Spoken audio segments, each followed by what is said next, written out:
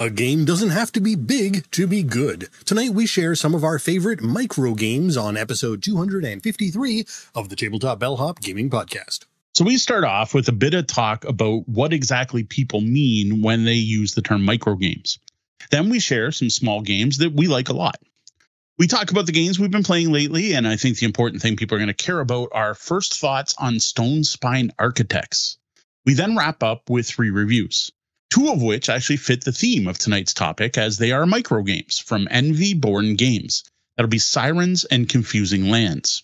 And then the last review I tossed in because I think it's pretty ironic. We're going to review Hamburg from Queen Games because it's pretty much the exact opposite of a micro game. It is a big, meaty game and it takes up more table space than most people have. Well, before that, some introductions. I'm Sean, your host, and here with me we have our editor and webmaster, Deanna. Hey there to all my fellow cardboard connoisseurs. And the tabletop bellhop himself, Mo T. I am Mo Tuzano, the tabletop bellhop, your cardboard concierge, working with you to make your game nights better. We record this podcast live Wednesday nights at 8 p.m. Eastern at twitch.tv slash tabletop bellhop, and we love it when people take part and join us in the lobby, our chat room. This episode exists thanks to our Patreon patrons and our sponsor, Grand Gamers Guild.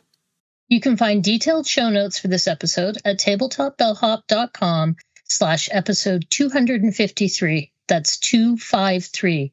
Links in our show notes may be affiliate links, which cost you nothing but support us. Also, some games mentioned tonight, including all of our reviews, were provided by publishers. The Tabletop Bellhop team is here to answer your gaming and game night questions. Tonight's question comes from Lucas Sorensen. Lucas asks, What is your favorite micro game?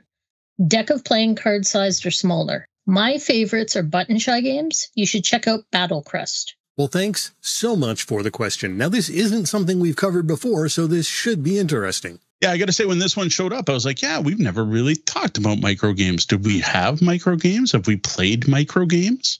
And then I'm like, yeah, I think we played some, but wait, what is a micro game? So that I think is a big part of this. And I think it's worth talking a bit about what that term means, especially nowadays, because I think it's changed over the years. Now, I know Lucas specifically said a deck of playing cards are smaller. So, yes, there's one definition right there. A deck of playing cards are smaller. But I got to say, if you allow a deck of playing cards, you're looking at thousands of potential micro games. And we're just going to list the best card games ever made, right? like, like euchre, poker, those micro games? Those don't feel like micro games to me as well as any other card game that's out there that uses a similar size deck, right? Like Point Salad is is that a micro game and so on. Or like so, we talked about the Deadlies, which is 52 yes. cards. That's a deck of card size, but is that a micro game? It feels like not, right? So Yeah, exactly. And I got to say other people's definitions do vary wildly, um ridiculously. Um, some people say smaller than a deck of cards. Yeah, that that seems to be a pretty agreed upon. Smaller than a deck of cards, not a deck of cards or smaller, but smaller. But like I saw people saying Splendor is a micro game, and I'm like, I don't know. There's this whole deck of cards. There's three decks of cards. You've got all those chips, plus you've got um the the tokens for the nobles. Plus it comes in a pretty big box. And yes, there is the whole air issue with Splendor, and it does get smaller without the box. But I don't know. I I can't see that thinking of that as a micro game. Um, and at least person, one person I found on the internet on, on Reddit was very insistent for it to be a micro game, it had to fit in their wallet. So the opinions on this seem to widely vary from pretty dang big to ridiculously small. Now, one definition we found does list a micro game as being an addition of a game with 20 components or less in a box of 20 cubic inches or less. Which I that doesn't seem too bad. Like I actually like the 20 component thing. I think that works for most games I think of as micro games. And um, I, I might have worked for every game on our list coming up. It's it's pretty close, like close to 20 components. But honestly, 20 cubic inches or less, I don't know. To me, to me, micro game isn't just the size of the box. What's important for a micro game is how portable they are. And while game boxes can be tossed out and you can put games into photo cases, and honestly, one of the definitions I almost want to say is like if you can put it in one of those photo cases and then store 20 of them in one of those big boxes, you got a micro game. Yeah, right. That that's actually that is a good definition. It fits in a photo case. Boom, it's a micro game. But if you're saying box size doesn't matter and I can repackage it, then that opens up the definition to a whole slew more games. Yeah. And I'm also thinking Splendor is there's no way Splendor is a micro game. Not in the wildest sense. Just the tokens are so big and heavy. How is that a small yeah. portable game? I wouldn't even because I was well thinking of these. I thought of some games that I think are just a step up from a micro game. They are a travel game, like Travel Qwirkle. It's small, yep. it's portable. I would toss it in my bag, but I would not call it a micro game. And I'm pretty sure it has more than 20 components. But um some of the ones on our list may have 20 more than 20 components but splendor at no point even in in the travel game category. And then the 20 component thing what i found while trying to make this list today was it's really hard to figure out how many cards are in some of these games without taking them out and counting them. I couldn't e- mm. easily find the information for some of them. So we may be we may be over if that's your definition. Yeah i'm not sure. I, I, I, we couldn't find component counts. A lot of the ones i saw were um, where I was really on the fence was like half a deck of cards, like Red Seven, right? It's in the smallest possible card deck. It's simple rules. I don't know how many cards are in it, but it's not 52. I almost had it on the list, but then I compared it to the other stuff I had on the list that was smaller and I decided to leave it off. Yeah, it's interesting because there's also a whole other definition of micro games yeah. that confuses the matter even more. Yeah, because going back to the 1980s, there was, I don't know if it was trademarked, but Steve Jackson Games put out a series of games that were called micro games. And if you asked any gamer in the 80s, hey, you got any micro games or you played any micro games, they knew exactly what you were talking about. They were talking about these games that came in small plastic clamshells that are now about the size of a cell phone. Um, that you would open up and they would have all the components inside. And they tended to be hex encounter style games. Um, they were popular games. Now, the thing is with these, yes, the packaging is small, but I would say these games are big as far as rules depth and complexity. Like these were micro games for war gamers, right? They weren't micro games for the average person. I'm talking about games like Ogre, Car Wars, and even Starfleet Battles had a micro game version. And I can't think of anyone who would call Starfleet Battles a micro game in any way, unless they happen to be from the 80s and are using that definition. Well, I've also I've also heard of micro games as being called pocket games. Like if a game fits in your pocket, then it's pretty micro. Personally, I like purse games. If I can toss it in my purse and leave it there in case of gamey emergency, that's a micro game. Yeah, we run into some interesting stuff as well because one thing that I, I don't think we really addressed is uh, what about you know a pocket, uh, the travel games of chess? Like you can get travel games of chess which are really small, yeah. but they have more than twenty components and they are complex games. And you know, do you call that a micro game just because you have sized it down enough to you know fit in your back pocket? Now, one thing I did like about that definition of the 20 components or less, it did say an addition of a game. And I like that because in that case, that would be a chess micro game. It'd be, well, it'd be more than 20 components. So it, but it would fit the 20 cubic inches part. So I do like the fact it said addition of a game, which leads you to um the, there are pocket versions of games um one i put on the list tonight because it's one we particularly own um deanna called out the the qwirkle cubes or i don't know what is it mini qwirkle travel qwirkle, travel, travel qwirkle. qwirkle. i think and it's a little on the big travel, side my travel catan is surprisingly small i could fit that in a glove box or in a purse. It's not going to fit my pocket. Definitely won't fit in my wallet. But I wouldn't. Again, Catan to me, I, I think micro game also implies not too complicated, right? I, I don't know. I, like, is is the game difficult? Like the reason I think Ogre, Car Wars, and Starfleet Battles don't count is you're looking at two, three hour games. And to me, anything that takes two to three hours is not micro anything. See, as soon as you said toss out the box, the first thing that came to my mind is things like Aqualin, Sensu. If I have a grid, I can play that with just the pieces, which I can throw in a bag, and that becomes very portable. Again, I think it becomes a portable game, a travel game, but not a micro game because it's not small enough. Yeah. Yeah, I would say like like you could probably make a micro version of say uh Onitama that could possibly have less than 20 components. I don't know how many cards are in Onitama, but Aqualin, that's just too many tiles, right? It's too mm-hmm. many individual pieces, and you can only make them so, so, small. I haven't delved too deeply into this, but uh, what about Railroad Ink? Is Railroad Ink a micro yeah, game? I would say it is. I think that fits. It's less than 20 components. It's a small box. The expansions are just dice. So yeah, I would think it works. Actually, there you go, Sean. You got one for the list. You can add well, we'll have 15 or whatever, one more game. I, I would add those. To I didn't even think of them. Um, part of it was I, I'm focused on the games I own, right? So Yeah. when I walk around, I did not even think of that. Yeah, I would think they would fit. I mean, I, put think a lot, of, a lot of these roll and move games kind of kind of do. Uh, I mean, size wise, even something um, that the uh, the the game, the chocolate and and nuts game we had, where where you're playing the bingo Dolce. Dolce. It's got too many components, but size wise, you're, you're Oh, I you're don't know. there. With the individual player boards for every player, it takes up a lot of room Roll through because the everyone ages. has their own player board, and then there's the the central cards. Right. Yeah, that's it's like roll through the ages, which is one of the first roll and rights I ever tried. I didn't really care for it, but that's pretty small. Would that be a micro game? I, but again, once you put the four wooden player boards together, that's that's significantly larger than many of them. I think Yeah. Splendor takes up less space if you shrink it down. I don't know. Mm. I like to me, it's a kind of a combination of all things, and um, I'm I'm going to use a a popular term. Uh, to me, it's kind of like porn. Like you know it when you see it. You're just like, yeah, that's a micro game, and that's not. And I have like a gut reaction to it. Um, like for me, a, a deck of cards is too big. To me, 54 cards, 50 cards, 40 cards is probably not a micro game. well, Like is Magic the Gathering a micro game with a 40 card deck? Like it, uh, to me, that's too much. See, Ryan Ryan called it out, and this was the first thing that I thought of when when someone says microgames to me today in this day and age. Yeah. Does it fit in an Altoids tin? It's those mint Yeah. games that that size. It's it's a little bit smaller than a deck of cards. Um, those you know that those tin you know mint, mint tin mints, yeah. mint tins. Those Yep. that's the size that I'm thinking of.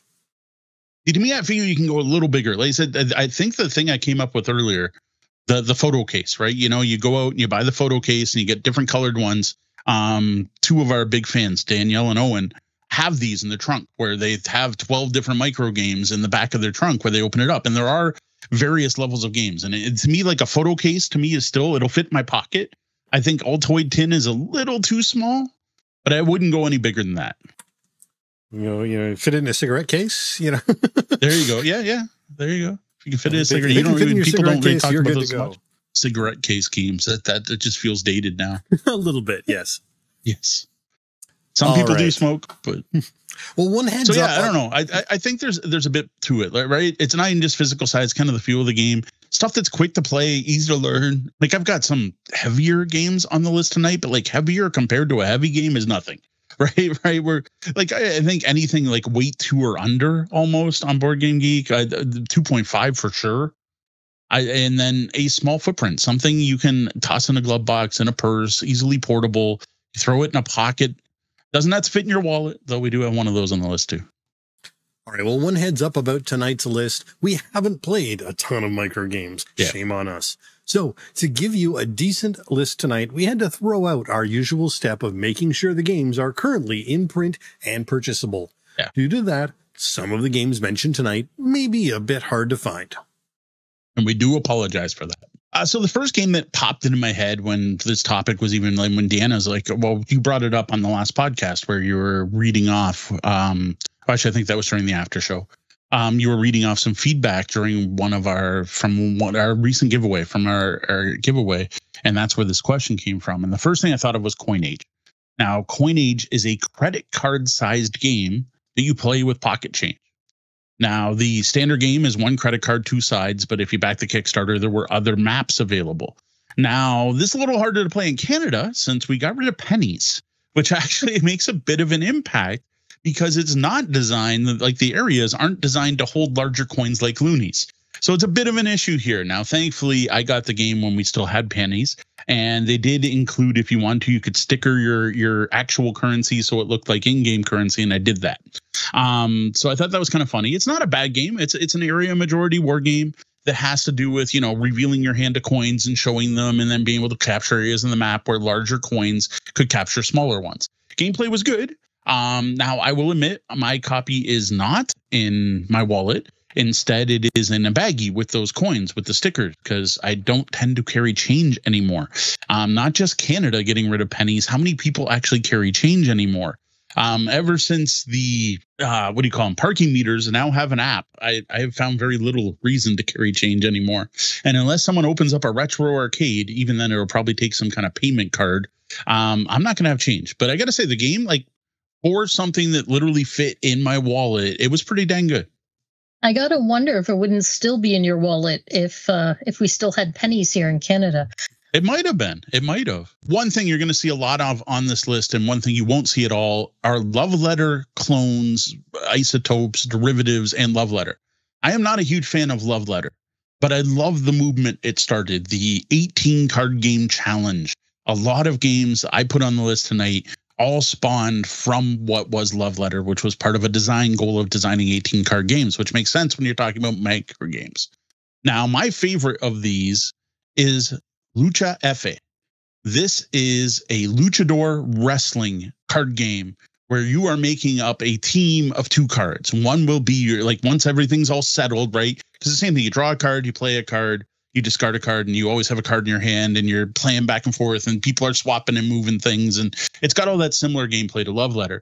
But what you're trying to do is end up with two things your wrestler and who's outside the ring. And depending on who they are and what type of wrestlers they are all makes all kinds of difference to figure out who wins the match. And one of the things they did is you collect a certain number of wins to win the game. And they actually gave you tiny wrestling belts to wear as finger rings. So you can show off your belts for how many rings you've had or how many wins you've had and honestly, part of what makes the game great is throwing in promotions and other bits that are part of the game, but not, you know? like it's just way more fun if you are trash talking each other and doing promos between doing things and explaining how your guy outside the ring helped you out to win the match. All right. I have got Kiri-ai the Duel. It's an 18 card samurai dueling game, not quite wrestling, but it comes in a clever cloth case that's based on a historic wallet from the Edo era it's quick to play. You only need a small amount of table space. And and basically as you're playing, it's like move forward, strike at the spot in front of you, switch switch your stance, strike at the spot beside you. You're trying to get two hits in, on your opponent before they take you out. It's neat, and the flow of it reminds me of playing Bushido Blade on the PlayStation back in the mm-hmm. 90s. Next, I have Empire Engine. This is another Love Letter spinoff. This one, though, is an engine building game. It uses two cards that are up in front of you for the entire game, and these have gears on them. And every round, you have to turn your gears. And then whatever's showing at the top of your gear determines what actions you take, including attacking the other players, defending from attacking, collecting resources, and more. This was the first of the 18 card games that felt like a Euro game, right? Like it was an engine builder. It wasn't just some bluffing game, deduction game. And I loved it for that getting back to the bluffing games, another one I have is Cypher. This is another card game in a cloth bag from AEG. This is a cyberpunk game where there's a class system that's a big part of play. There's upper class, middle class, and lower class. And it's all about collecting the most influence and not ending up with or having a specific card. It's not whoever has the lowest card, it's whoever has the princess. Um, this was all about scoring points. And what I liked about this one is there was a ton more player interaction where if you played a certain high class citizens, they would wipe out all the lower class citizens. Or if this person had this character who was middle class in play, you couldn't play people of the higher class. And it did this really interesting, like I like the background and the setting. Like I read this one and I was like, is this based on some kind of cyberpunk game that I can learn more about, which at the time I don't think it was. I think it was a standalone game.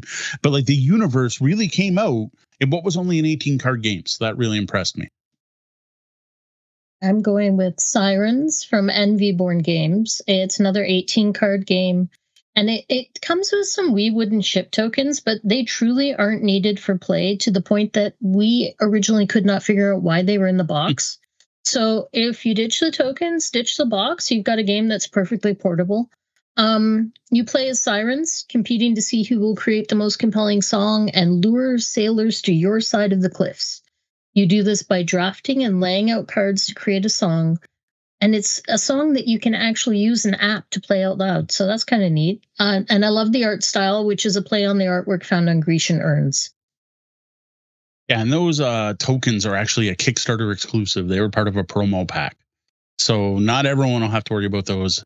And I'm just going to slight correction. It's actually more than 18 cards, but there's only 18 cards you kind of play with because there's more cards because of the the the starting cards, whatever you call them, the reference cards, and then the solo option, and then the solo options, and then there's also the card that references the different card abilities. Oh, you're right. So so this one like actually does 22? break the 20 component rule, but mm-hmm. it's 18 cards you play the game with. So I think okay. it still fits. And how many components are there in Hive? I actually don't know how many insects each side gets. So I'm not sure on that one. But Hive is a classic at this point, two player abstract strategy game. Pretty small on its own. It's behind me there. It has limited pieces. It fits in a glove box, but I would say it's probably a little too big for consider a micro game. But then there is Hive Pocket, which is half the size, and I think at that point you're getting to that pocket size. Um, this honestly used to be one of our biggest date night games that we had with us at all times. Had downtown Windsor. If we stopped at a bar or whatever, we'd play. But it's been a long time since we've broken this one out. Um, it has a very chess-like feel because every insect moves differently, and then the goal of capturing the opponent's queen kind of fits. But there's no board, so like unlike chess, there's no board. The board is kind of like the pieces as you play them. So as you add insects to the hive, the hive grows, and that's actually a big part of the game. Is you can only have one hive, and you can't break the hive, and that's part of the strategy in it. So there are 22 pieces in Hive, 11 oh, per side. Oh, so close. so close. So close. So it goes on there with with sirens. I think this is my last one. My last love letter knockoff, which is Lost Legacy. Uh, there's technically two versions of this. This is a deduction game, but not as much a social deduction game. This isn't bluffing. This isn't lying to your opponents. Instead, you are playing cards trying to determine what the Lost Legacy card is. It's one card that's kind of hidden at the beginning of the game. And because of that, it has a semi co op feel. Because if no one guesses the Lost Legacy correctly, the entire team loses the game. So, yes, you want to be the one that finds it, but you want someone to find it, which I kind of like. Now, there are two versions of this one Lost Legacy, the Starship, and Lost Legacy, the Garden, at least in North America. Actually, it's originally a Japanese game, and there's even more. But here in North America, there's two the Starship and the Garden. And what I like about this is you can mix and match them to try different roles to see how you like to combine them. But even more so, you can put the two together to make a six player game, which is a nice touch because a lot of these micro games do not play higher player counts. Well, I've got Confusing Lands. This is another game from Envy Born Games, which, like Sirens, is from their Tiny Game series.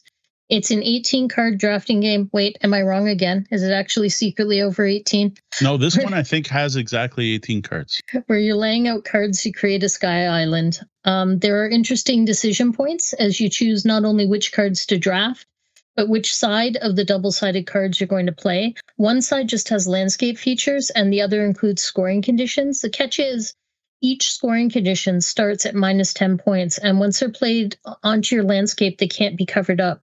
So overall, it makes for a rather unforgiving and fun two player experience. Next one is technically a kids game, something you'll find at educational toy stores, and that is Rory's Story Cubes.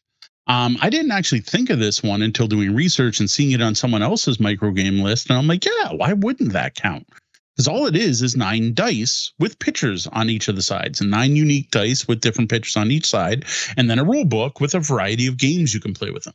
Now, most of these are pretty small improv RPG games where players tell story based on the symbols on the dice. But there's all kinds of different variations. One where you like roll all the dice and tell a complete story, another one where you add to an existing story and pick a die, and there are other parts of that. Now, some sets even came with small plastic cases that held nine dice, which I got to say, those were great for tossing into a pocket or purse. All right. Well, I do have one to add to this list that we uh, we haven't actually uh, talked about, and I didn't even realize until we were talking about this. But pass the pigs. It's there you go. two pigs and a scoring card. You mm. can't get much smaller than that, both in size and the number of components. Two Walkerville game nights ago, not the last one, but the one before, there was a group that played Pass the Pig, Pass the Pig, Pass the Pig for hours on end there, they seem to be to having a great time with it. I've never actually tried that game, so I have I have no opinion. Um, the holiday hijinks, the holiday hijinks series of escape room games from our sponsor, Grand Gamers Guild. We can't forget them, not just because they're our sponsor, but because these are great little puzzle games.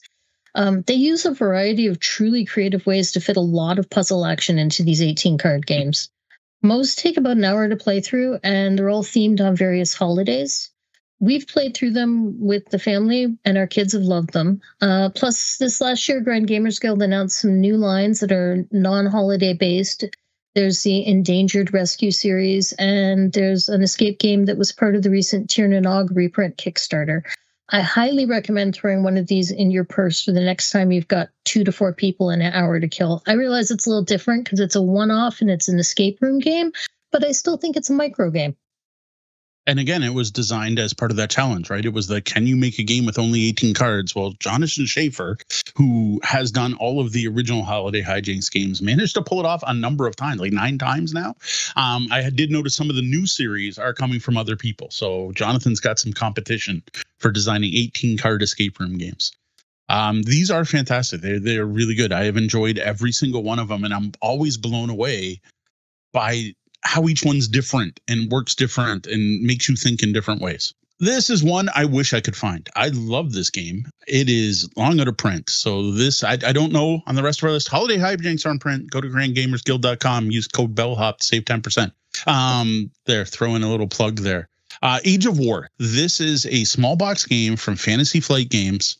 Really tiny little box, about the same size like Confusing Lands or Sirens.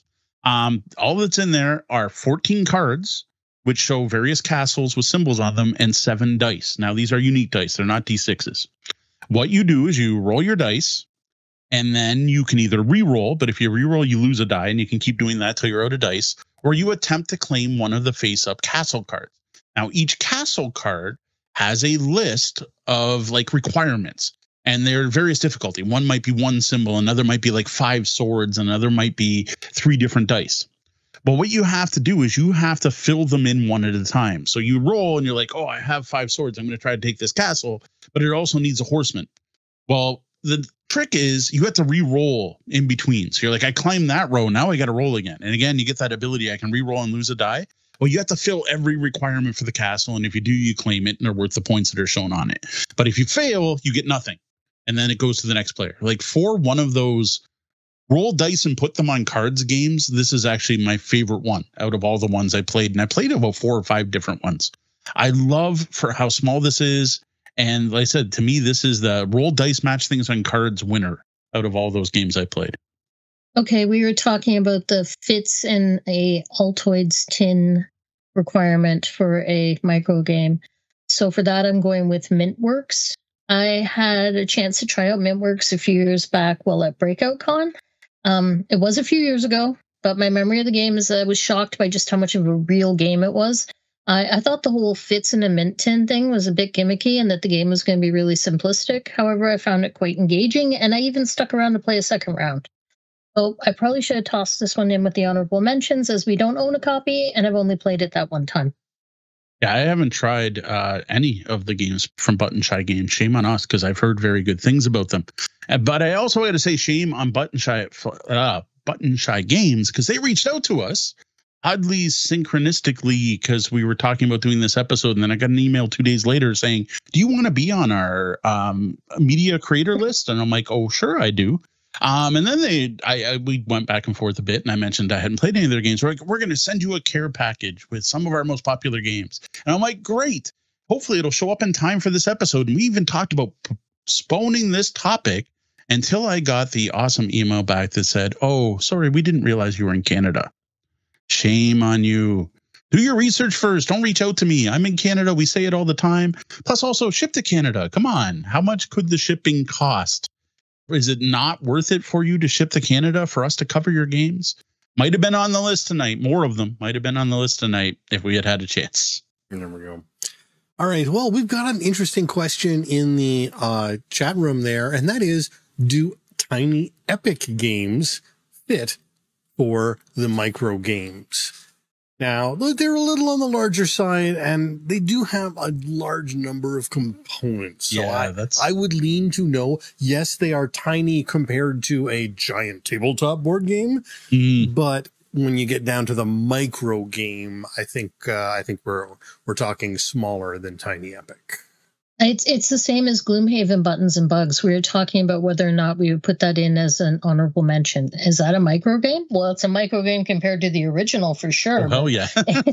there's a lot of there's a I, I believe I described it as a Mary Poppins uh, a carpet bag amount of stuff in that tiny box. Once you open it, it's definitely more than twenty components. Oh yeah. Yeah. yeah, I don't I don't think they count. Plus, I found the tiny epic games, besides being in a small box, took up a lot of room. Um, Tiny Epic Galaxies, everyone has their own little player board in front of them, which takes up room, and they got their own symbols. And then there's the cards that go up in the middle. And I'm like, to me, that like small box game, yes. Yep. Small game, I don't know. Yeah, I Uh, think like, I, lot. I, I think they still fit travel. Yeah, I think a lot of these games, these these the, you know things that are called tiny, uh, I find in many instances are a reduced version of something massive. So Mm. it's it's more approachable. You can fit it on you know the co- the coffee shop table instead Yes. of the four by four uh, you know game room table. But it's still not a micro game. Micro games are really that that that special type of game that is going to take up the least space possible. Yeah. Now, I do have one honorable mention I am going to throw, and I think these 100% qualify, and that is the Pack O games from Oink Games. They're all three letters. Um, there are tons. Some of the more popular ones I remember hearing about are Bus, BUS. I had no clue how small these were. Like I've seen pictures, I've shared deals on them on Amazon. Um, there are certain content creators that love these games, talk about them all the time. Suzanne Sheldon is an example of an advocate for the Pack O games. Um, but our friendly local game stores have never carried them. And it wasn't until we were on a trip in St. Jacobs, Ontario, at a awesome toy store in uh, in a, a church called Toy Soup that I saw these in person. They are I, I I don't know if these exist anymore for for someone who's not as old as us to understand, but they are the size of a pack of spearmint gum. These sticks of gum. It is it is you know five pieces of gum thick. Like they are smaller than my finger, or about the size of my finger. I could not believe how small these games are. And, and it is it, they're ridiculously small. And I have heard that there are fantastic ones. Um, from what I've heard of the series, there are no bad ones. There's just some that are better than others. Uh, This is another one that like we need to try some, and I actually regret not picking up any while we were at the store at the Toy Store at St. Jacobs. Instead, we bought Point City, which which we weren't enthused with. So I'm like, man, I need to buy some of these Oink games. I mean, I really wanted to try Point City, so I'm Like there not. was a reason. yeah, they were so tiny, and that's the exact perfect description of it. It's a pack of chewing gum size. If you know, like you said, for some The younger people, that may gum, not may not make sense. Yeah, I've got one honorable mention, and and it's sort of like a um a hunt and find challenge for y'all. If you go to PNP Arcade, there are a lot of micro games on Oh, there. yeah. So if you are looking for free to low cost print and play micro games, that is your there you go on there and search for micro or search for tin and you will find like page after page of them. Heck, I'll throw in one more. The only reason I didn't put it on the list because it's solo only. Pocket Dungeon.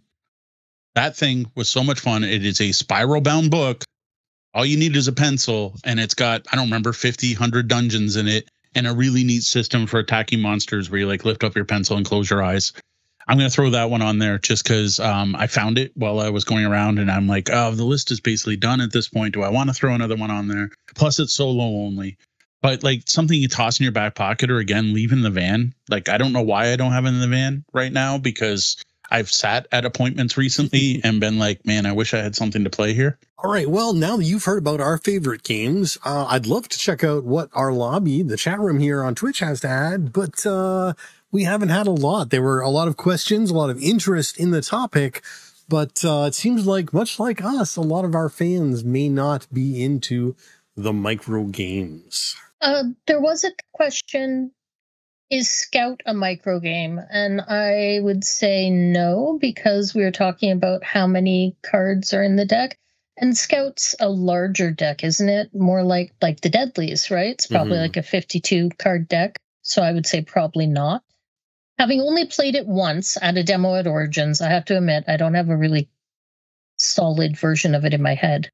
i have not played scout 45 cards Other games, other games that we saw referenced places were things like One Deck Dungeon, which, Yeah. while again it's a small That's a big- box, there's a, a lot of stuff in there. There's a lot of there's a lot of cards. There's a lot of dice. Uh, it's not a, a small component game, and it takes up a bit of space once you get building your building your dungeon uh, or your galaxy if you happen to have the One Deck Galaxy. Um, so again, small box, but not small component count or or space it takes up. And then Red Meeple Ryan is suggesting urban sprawl, but that's not one I'm familiar with. no i think he's thinking of sprawlopolis which is an 18 card deck No, game no, where you're uh, Urban overlapping. Sprawl, the larger, bo- greatest little cities, a mint tin game. Oh, okay. There you go. No, I was right. He said Sprawlopolis. Okay, but there Yeah, is greatest little totally cities counts. is a mint tin game. It, it's literally one of those Altoids games.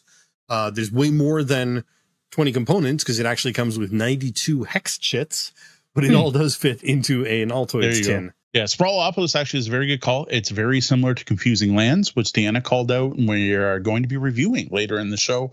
It's a game where you have to play cards overlapping existing cards to be able to build a city, um, where you're trying to connect different districts and everything. And honestly, it's a good one. Um, I didn't make my list. Like, I'd, I'd rather play Confusing Lands, um, or I'll dive into like Hokkaido or one of the bigger overlapping card games that are out there. Actually, it's Sprawlopolis. You might not be overlapping. You might be playing them.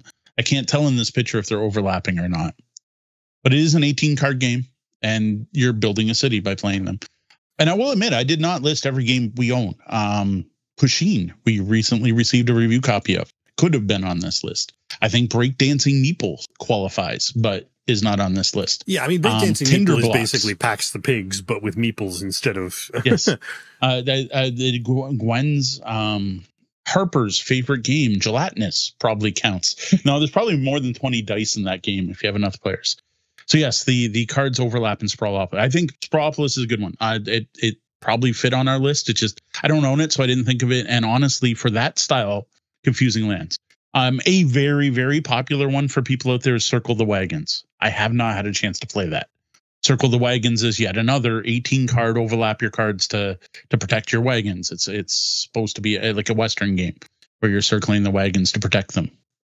Yeah, Uh, when when Sean said pass the pig, I did think of gelatinous, and I'm like, technically, left, right, center is a micro game, but I'm I not think there's more than recommending 20 it. chips. I think there's more than 20 chips in LCR. I think we're good to move on. Thank you for the suggestions. Uh, even more so, thank you for just taking part tonight. So I hope this helped you find some new tiny games to check out. Uh, chat room didn't bring up a lot of them, so maybe they need to get out there like us and try some of these games out. Um, this did one big thing for me, which point out how few micro games I played. So my goal right now um, for kind of the next year or so is to watch for these, right? Uh, when I go to con season, I'm going to be looking for more micro games. Um, as I mentioned earlier, we're in contact with Button Shy, so I would love to try some of their games. Uh, maybe we can hook up. You won't have to ship if you uh, we meet up at a con. Um, and I would love to try some Oink games. Yeah, definitely. Um, the next time we're at a convention, I'm going to be keeping an eye out for micro games because we haven't played many. Uh, what other pocket games should we be checking out? What would you recommend to someone looking to explore the world of micro games that we didn't cover? Tell us about it in the comments, or better yet, join our Discord at discord.tabletopbellhop.com and strike up a conversation there. And now, a message from our sponsor, Grand Gamers Guild. Well, I think this one fits very well with our topic. You know how much we enjoy the various holiday hijinks games. Um, perfect micro games. They were just on our list of micro games we love. We have reviewed a ton of them, and I am very pleased to announce there's more coming. In addition to more holiday hijinks game, Grand Gamers Guild also has a new series of small pack escape room games with the Endangered Rescue series. You can pick up the latest games Endangered Rescue Number One, Galapagos Penguins, and Holiday Hijinks Number Nine, The Marriage Mix Up, at Essen. Find Grand Gamers Guild at Essenspiel, booth 3 H313. If you stop by, be sure to tell them that the Tabletop Bellhop sent you. Now, if you can't make it to Essen, both of these are available now on the Grand Gamers Guild website, where you can use our code BELLHOP, B E L L H O P, to save 10%. Oh, we just have one big announcement for this week, and that's that our new merch store is set up. Yay! Uh, you can find it at tabletopbellhop.com slash merch, M-E-R-C-H. Uh, we do have an order in actually on this one for some samples, which we'll hopefully be able to show off next episode. We can show you what everything looks like. Um, even more importantly to us, and probably to some of the locals, is we're hoping to be able to bring some of this out to our local events so people can check them out in person. Now it's time for the Bellhop's Tabletop, where we talk about the games that we've been playing lately. Uh, with pretty much everyone in the family sick over the last few weeks, we haven't gotten a lot of gaming. Now, one game that did hit the table quite a bit is King's Coalition. Now, we just reviewed that last episode and we are still loving it. Um, had it out a couple times at our last Walkerville event and everyone enjoyed it. Plus, I played a game with Dee and Gwen. And I still say everyone who's played this has picked it up quickly. And each time I've taught it, we played two games in a row. We played the basic rules without all the special abilities, and then one with the advanced suit powers. And every time it's gone over great. Like I, this one has not failed. So, as I mentioned uh, during the review, those advanced rules seem so overwhelming when you first open up this game and you see all that text on those cards, on the both on the individual cards and on the summary cards. But just ignore all of that because as soon as you play one full round with the basic rules without worrying about any of that text, all those abilities just suddenly come into focus and mm-hmm. just mm-hmm. make sense. Yes, exactly. Yeah, I, f- I feel like this is just such a solid gateway game for folks who like traditional card games. And yeah, once you play that first basic rules game, moving on to the full rules isn't anywhere near as daunting as it looks. Like, as Mo said, everyone we've shown it to has picked it up right away. I just had to stop people because you see them reading the cards, and I'm like, no, don't, don't even read them. Don't even look at them because it's just not going to make sense. And it's surprising how much sense they do make after that first play it's it's actually kind of shocking how the revelation. But I'm like, once you see how the game works, then you read it and go, because otherwise you're like, well, a knight can change this, and why would I want to do that, right? You're going to question why. What, what's this mean? Sets of clerics, and, and like if you know already played the game, you're just like, yep, all good. Now, the one question I have been asked uh, multiple times, listen up, friendly local game stores, because this came up with the locals who tried the game at Walkerville, is when can I get this game? Now, I uh, got an official answer from that from Zev earlier this week. So the game is currently in the warehouse. So they have copies here in North America and it's shipping currently. And actually, this was early in the week. So you should be able to pick it up at your friendly local game store, online local game store, wherever you prefer to shop for games on October 15th. So what I think you should do is get a hold of those places now and make sure they're ordering copies so they'll have them in for you. Oh my god, look at us talking about the new hotness. We are actually talking about a game before it hits game stores. Does happen now and then. Does happen. That's what we'll start. We'll switch. We'll just do new hotness from now on. It'll be a totally new show. We'll just throw out everything in our pile of obligation and replace it with stuff that's not released. Next, Panda Royale. We talked about this one multiple times, so it's I'm, I'm not giving a full intro. This is the one where you're drafting dice, right? You start with one die, you then draft another die. By the end of the game, rolling ten dice. Whoever has the most points wins. Every die does something different, right? There's there's the the basics. I really dig this game. Now I have had this out at multiple public play events, and it, it, it tends to get played every event. Someone will pick it up. Uh, what's interesting is different groups playing it and the reactions I've seen. It seems like the more people, the better. Almost like there's a cost once you get too many people. So what I've noticed, couples and small groups will grab it uh, groups of three or four, and they like it. They're like, oh, it's a neat game. They like it. They tend to play twice. Like they'll they'll play once and be like, oh, it's kind of clever. And then they'll play again because when they finish the first game, they're always like, oh, I would have made different decisions if I realized. So they play a second time, but then they put it back and they put it back on the table. And then they come next week, and I'm like, "How about Panda Royale?" Like, nah, we played that last week. So I am seeing that with the with the low player counts. It doesn't seem to really people don't tend to be going back to it. Now, with big groups, people get way more into it, way more into it. People are yelling and screaming, and I can't believe you drafted my die and stealing dice and laughing and having a great time. And they end up playing the game for half the game night and not returning it to the table, which is fine as long as everyone's having fun. And if someone new comes in, I can just be like, well, they're already playing that over there. Why don't you join them? Which actually happened last week, which was cool. The problem, though, is the game gets surprisingly longer, like significantly longer by having to figure out turn order, right? Like there's a the part of the game where whoever has the highest yellow dice gets to draft first. Well, having to figure that out with three people is easy, especially you just tell people put the die in front of you, right? But once you're up to eight people, you are like, okay, who has five? Does anyone have more than five? Does anyone have four more than four, three? What do you have? Two? Oh, you have five? Well, you didn't speak up. So you're okay. Right. And you just ha- kind of have this going around thing. And it, it's just a little annoying. Um, even worse is when you get to the pink pity dice, because the more players you have, the more dice you have. Up to four pink dice, you have to give to the lowest scoring players. And it's the same thing. It's like who has the lowest? They're like, well, I have six. Well, I have five. Well, I have three. Oh, I have six two, And right. And then later in the game, it's a little easier when people are like, I have 40 and I have 37 and I have eight. That eight player is probably getting the pink tie, but it just I was shocked by how much time is wasted doing this math. And then with the panda system, there is a system in the game for breaking ties. But when you have two people that have a six, it goes to whoever's closest to the panda. So you got to figure who has the panda. And, and like it works, but just the amount of time spent figuring out the order gets a little annoying. And it depends on the players, how much they're into it and how much they're enjoying it. But like out of every group I've seen play, you'll notice someone looking a little bored while you're trying to figure that out, right? The, the person who rolled the one who knows they're not first, right, is just kind of sitting there while everyone else is talking about it. Yeah, and it's at that point that the game almost breaks down to become fiddly. Like it's almost right. a fiddly game at that point. And, and, there's a drink factor here as well. Like this is getting played at a public play event at a bar, and I think um, attention levels vary and can dip as the night goes on.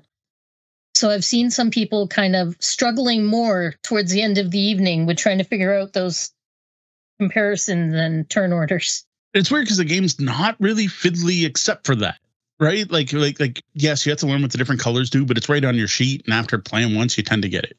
So for this, I am thinking five to seven is the sweet spot. But I do love having a game that plays 10 players. Like, that's Uh, like 10 players is just nice to be able to get 10 people playing the same game.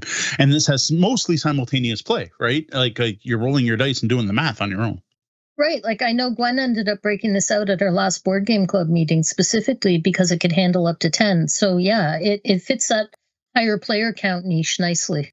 And we have pointed out before that if you want to buy multiple copies, you can play more players. Mm-hmm. Each box plays 10. So if you've got 10 boxes, you can have a hundred player game yep. of Panda. And wow, good luck oh, figuring oh, it out yeah, then. Right? Because I'm just thinking it bogs down now. What the hell happens at 20 or 30 even, let alone 100?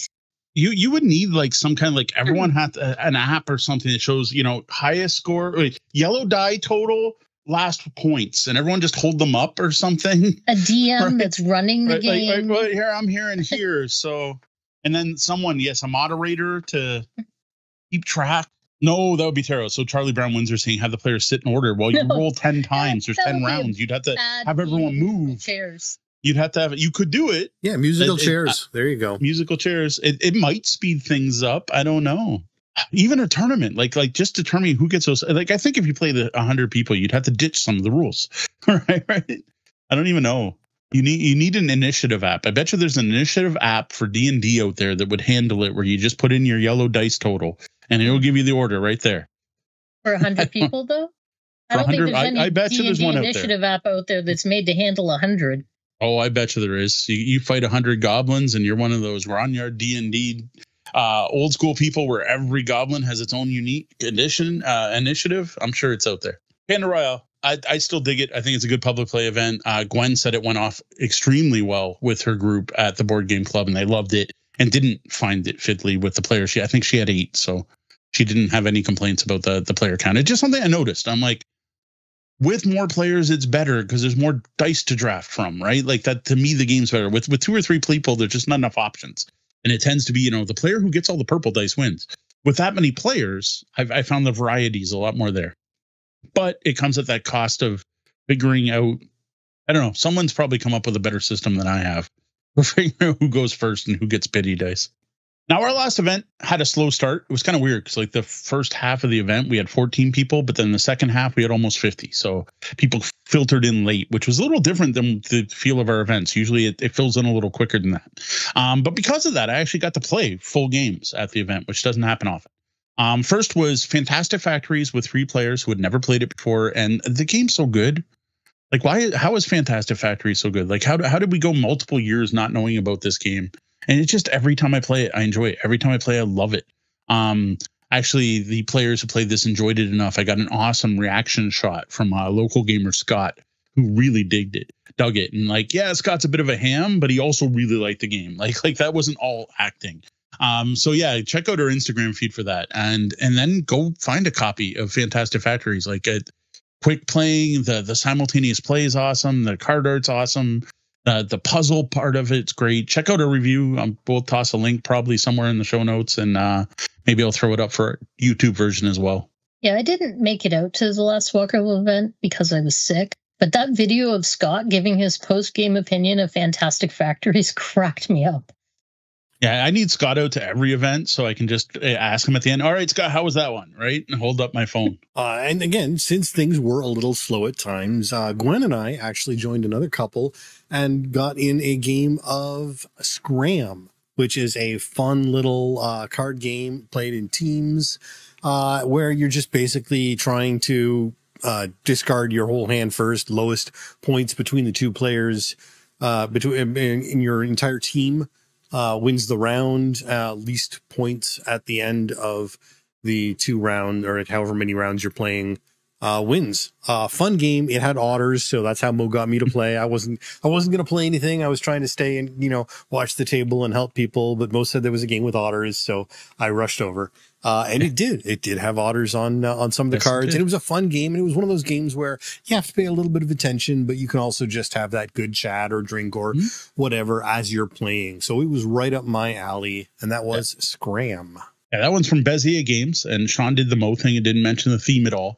It's called Scram because you're a camper and all these these animals are invading your camping site, and you want them to scram. That's here trying to get rid of your hand. Except Sean probably wanted to keep the otters. They're number they're numbered cards. I mean, there's some pretty art on them, but the, the theme really doesn't leap out at you. Uh, Beyond Dead 13 calls out it's it's a team version of Silver, which I, is a game I've heard very uh, positive things about, but have not played. Uh, Deanna and I both played Scram. We tried it at the Bezier booth. I can't remember if that was Game Expo or Origins. I enjoyed it. It was neat. Uh, next up, I uh, I took advantage of the fact we didn't have a lot of people, and I had a group of local gamers I know pretty well, and I got to bring off something from the pile of shame and obligation. I got Stonespine Architects.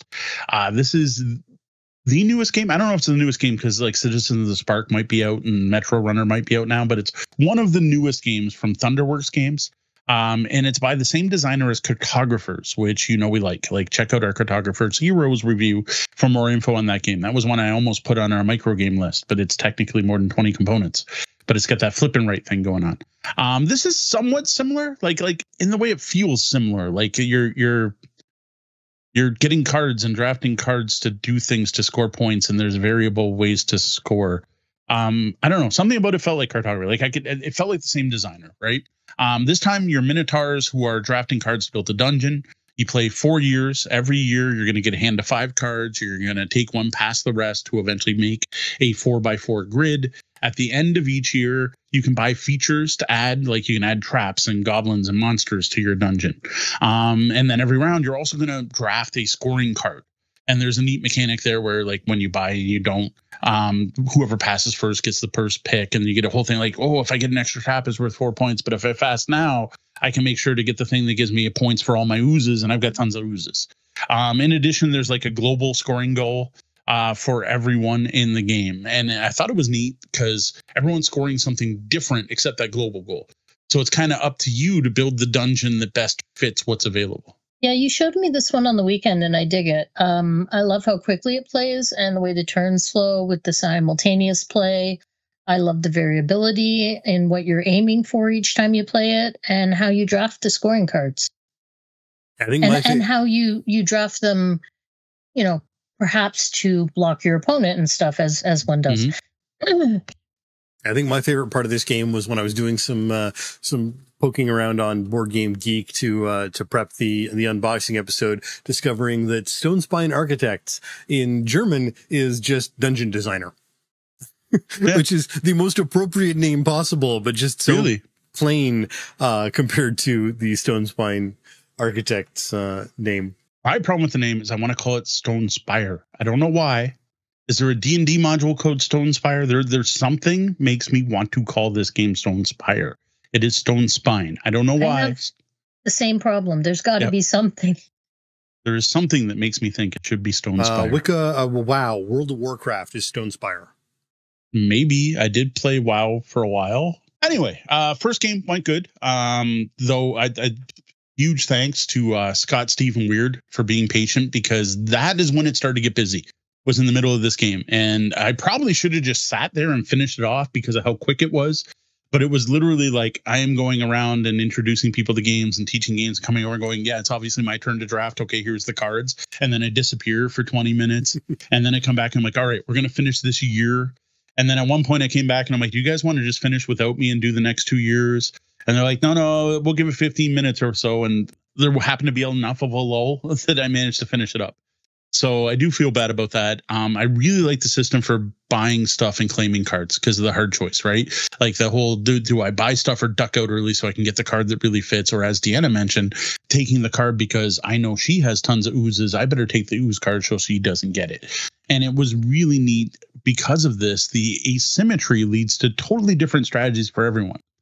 But in the games we played, the scores were always pretty close, which was nice. You could just tell it was well balanced. Yeah, that was my favorite part. You and I were talking about this the other day, and we were debating is this game like cartographers? And I mean, a bit, sure, but I think the asymmetric scoring is what sets it apart. Yeah. You're not all trying to score the same thing. You're not trying, you're not dealing with the same map. Now, this one um, was good enough that we played it three more times after that. So this is this is a nice a nice quick game for us. Uh, part of it being how quickly you can finish an entire game. Like you're drafting 16 cards and then doing a market phase in between each time. It's definitely quicker than cartographers. Uh, a couple of two player games Deanna and I played. Um, it fit well on a bar table. It, it, it worked out really well for um, sitting at the Banded Goose Brewery, which is a place we play a lot of games at. I don't think we could fit another player on a on a, on a four seater, but for two players it was good. Um, then we played four players over at Brenda's on the weekend. Um, what I haven't done is tried five players yet, but I can't see it changing anything. So uh, I gotta say, Thunderworks has a hit. This this is solid. Um, when we saw it at con season, demo tables tend to be always full. Um, we I knew we were getting a review copy at the time, so I chose not to do a demo myself, just trusting in the designer and the company. And I don't feel bad that I did because this this has been great. Um, I like that it's quicker than cartographers, and part of that is you don't have to draw anything, right? It's just cards. You put them in your dungeon and I like that I built something feeling at the end and the puzzle feel uh, of trying to build your thing to meet variable scoring cards. Um, but again, everyone scores things differently, which is nice. It's not we are all trying to build dwarven fortresses of four square grids of houses or whatever. So then, if we're going to go in for that cartographer's comparison again, if I had those two games sitting in front of me right now, I would pick Stonespine to play in, over cartographers. At least right now. Maybe it's just because Stonespine is still new for me, but yeah. but that's where it sits. Yeah. And going back to talking about Thunderworks games, uh, both Metro Runner and uh, Carta and Stonespine came out this year. Uh, yep. you know, which came first, I'm not really sure. They both basically dropped more or less the same time. Uh, but those are the, their newest games. They do have two more announced for 2025, but that's for next year. Is one of those Citizens of the Spark? Yeah, I'm looking correct. forward to that one. Yep. That Citizens one's the 2025. And then Emerald okay. Skulls is their next one, which okay, is that bizarre one it seen. looks like a goblin playing, uh, the, the slime dice game. Uh, See, I okay. think Metro Runner dropped at Gen Con because we were uh, able to pick up a copy early at Origins. Yeah. But it didn't exist yet.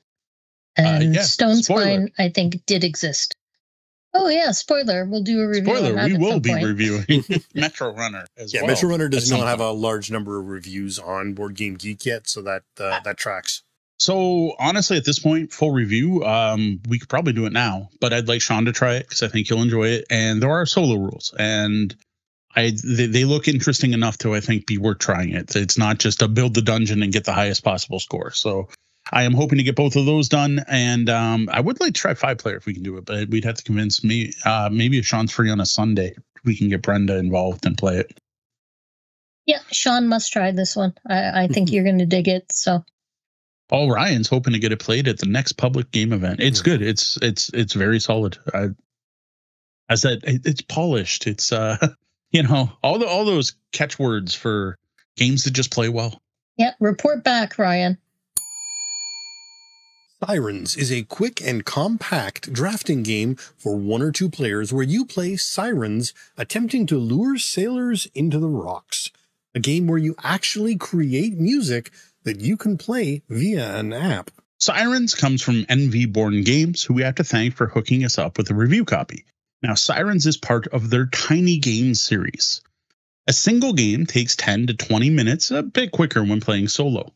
The main thing that drew me to Sirens was the theme and the art. I first saw a prototype version of this game uh, back in or- at Origins 2023, and the unique theme and the way you could actually compose and play a song and the art style, which is reminiscent of the art you find in ancient Grecian urns. All of this just it stuck out to me and it stayed in my head, making the game unforgettable and one that I was really eager to get my hands on. Now, one cool aspect of this game is that there is a companion app that will play the songs you create as you play. Mm-hmm. Now, this app is 100% free and available both on Android and Apple. You can also get this game as a print and play for much cheaper than the cost of the physical game. So Sirens is pretty simple. It's a, it's a card drafting game where you're going to build a song that then gets scored on four different criteria: heart, parts, flow, and charm. The component quality is excellent, including a very solid small box that will easily handle being tossed into a glove box or a purse. Uh, it has good card quality with clear iconography and a rule book split into two halves, one for solo play and one for playing with two players. Now, if you kickstarted the game or picked it up at cons, there are a few additional aesthetic promos, including foil reference cards and silkscreen wooden scoring tokens. We didn't see any way to purchase these separately, but we do know they have them at their booth at Origins, and I'm sure Gen Con as well. So digging into the gameplay, we're going to start with a two-player game because again, it's two separate rule books basically, right? Your rule book split in half. Uh, half of it's upside down even. Um, you're going to shuffle the deck and draw one card. This card sets a rule for the game. You're going to look at one specific symbol on it and reference another card that tells you what that rule is, and this will change one of the basic game players' scoring rules for the for that round. You then deal each of your players cards. Players select one of these cards to be added to their song and then pass the remaining cards to their opponent. You repeat this until each player has selected three cards, and then the remaining two cards are discarded. Players now create the root of their song with their three chosen cards. They can be placed in any order and don't have to be placed in the order drafted. Next, you're going to get four more cards, draft another three cards, just like you did when building the root. Once done, you'll now add these three cards to your existing song, the root, to complete it. Now, the root can't be broken up, so you can't split up what you've already played. Those three cards are set, but the new cards can be added to either the front or the back of the root. Once your song is complete, you place your personal reference card at the start and move on to scoring, which is broken into four segments. First, players count up the hearts on their cards. Players with the most hearts scores points equal to the difference between the two players' heart totals. Next, you break your songs into sets of matching colors called parts and score points for each part based on its size. You actually score the square of the size of the part. Now, one other requirement here, though, is you have to have at least three parts in your song to score it all here. After scoring sets, you then score the flow of your song. Each color of card flows into a different color, and you get points based on how many sets flow into the next set correctly. Red flows into yellow, which flows into green, which flows into blue, which flows into red. When placing cards, you can play cards that don't flow, but then you won't be stacking up those important flow points. Finally, a number of the cards have charm symbols on the bottom of them. There's only half a symbol on each card, and you are awarded points for pairing matching halves together. Player with the most points wins the round. They collect the universal rule card that was revealed at the start of the game, and that represents one ship that has crashed upon the rocks on your side of the cliff. You then play one or two more rounds, with the overall winner being the first one to collect two cards representing two ships. You can also play Sirens solo, where it's you as a single siren trying to lure Orpheus to your shores.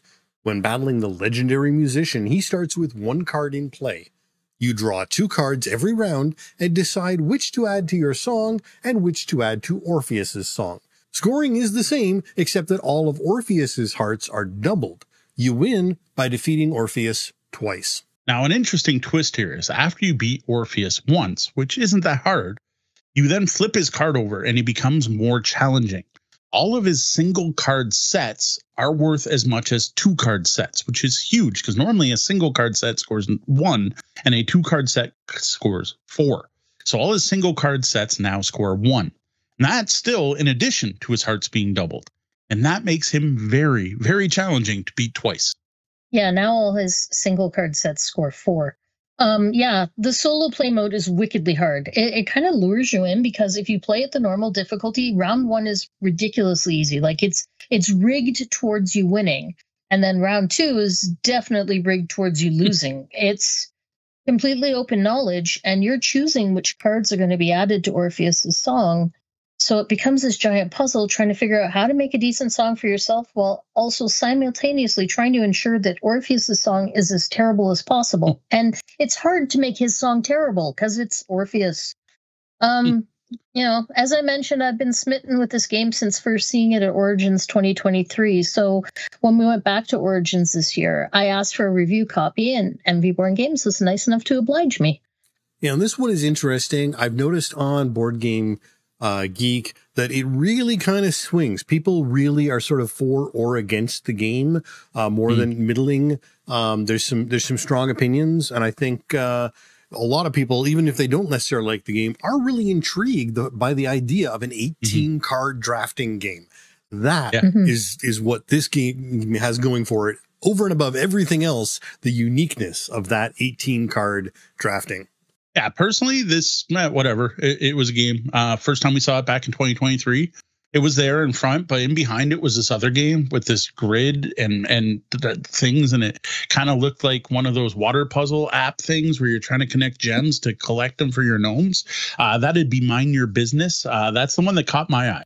Um, so we, when you're done listening to us talk about sirens, uh, feel free to check out our uh, mind your business review, which is the first game that caught my attention from Envyborn Games. Now, the one thing that I think is important, and this is uh, kind of what Sean's bringing up here, is is what that overview doesn't really make you realize is how few cards there are, right? Like we're talking about playing colors in order and sets of colors together and making them flow from one color to the other. Sounds not so hard to do when you're thinking of a deck of 54 cards.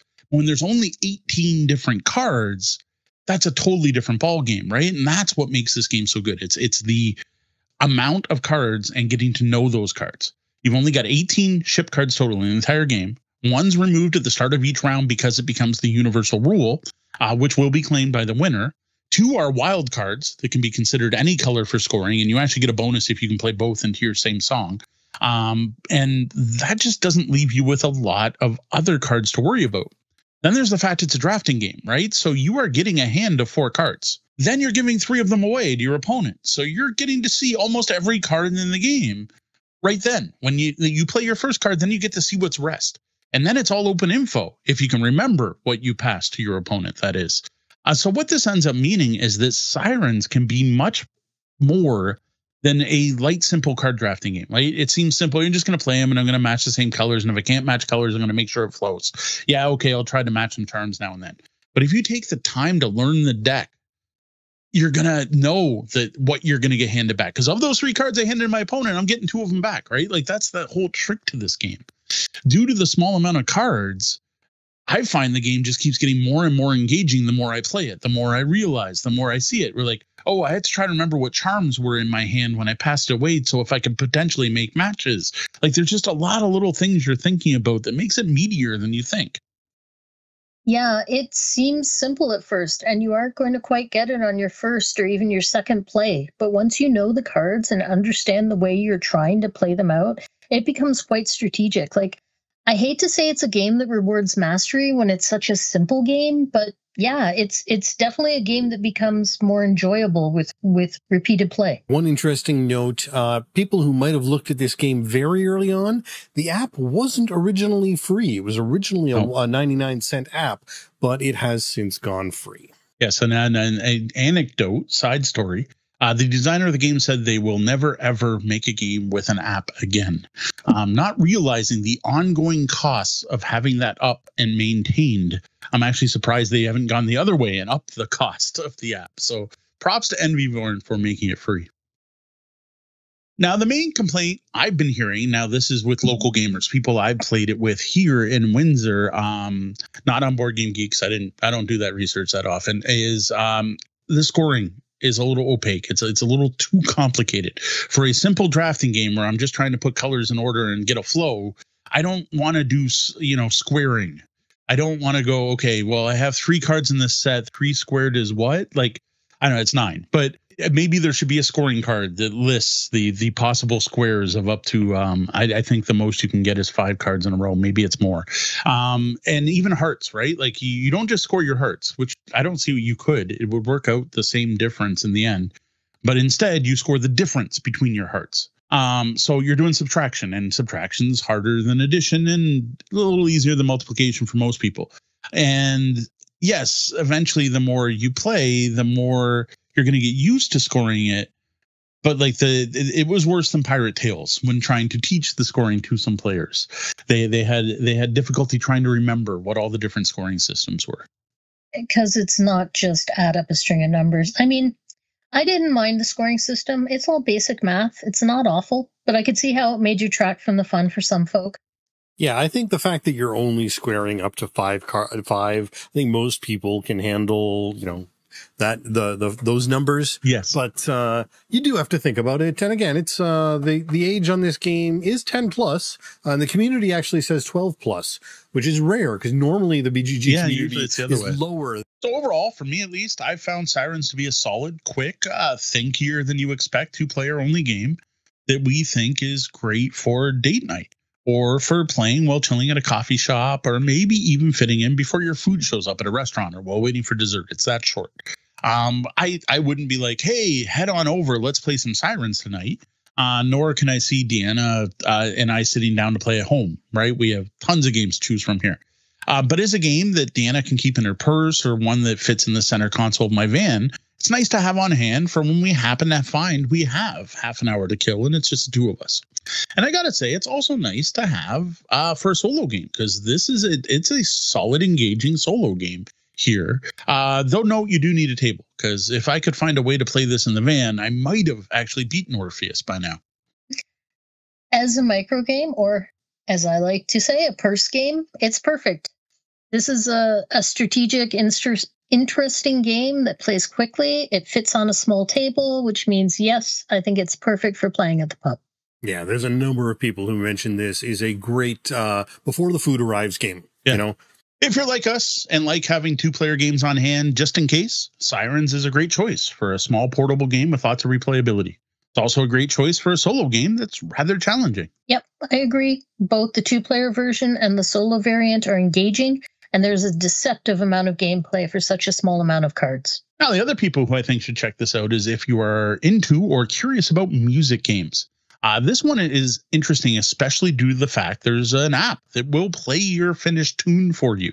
I think that's a fantastic touch. Uh, way back, I couldn't tell you which episode, we actually had an AMA where someone asked us, What are games where you create new music? Well, here's one. And after playing it multiple times, I noticed something neat that when you create a line of cards that flow, the music actually sounds more cohesive. And then when you put together a set that doesn't flow, it sounds a bit off or even, even jarring. So I thought that was kind of cool.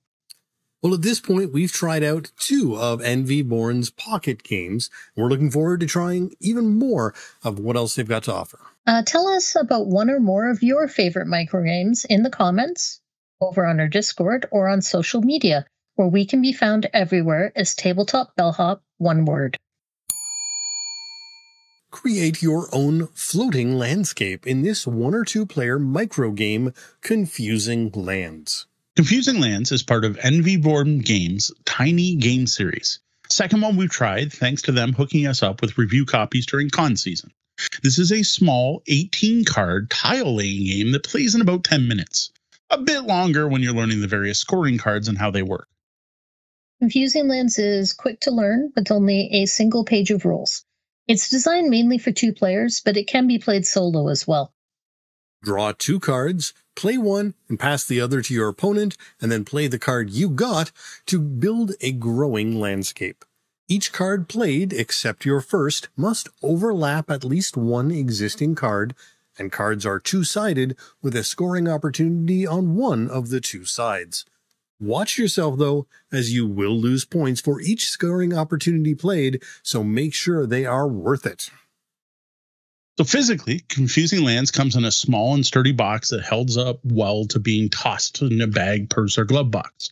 Uh, in it, you find a set of good quality cards, instructions, a scoring pad, and even a pencil. If you're really worried about space, you could even ditch the box and it would take up even less room.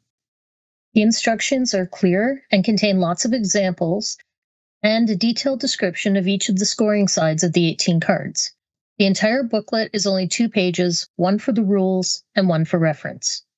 There's almost no setup for confusing lands. Shuffle the 18 card deck, flip one card scoring side up, and place it between the players. The scoring condition on this card applies to both players for that game. So each round, players draw a hand of two cards. Choose one to place into their glowing landscape, pass the other one to their opponent, who then has to place that card into their growing tableau. When placing a card, except for your first one, it has to overlap at least one square of an existing card that's already out in your tableau. You cannot cover up any part of a scoring opportunity when you're doing this. Cards played can be placed either side up. One side is going to show six terrain squares with different types of terrain, and the other side will have two of those squares that has been replaced by a scoring opportunity. Features on cards include rivers, villages, mountains, wolves, forests, elk, crystals, and prairies. There are 18 different scoring opportunities, and these vary wildly.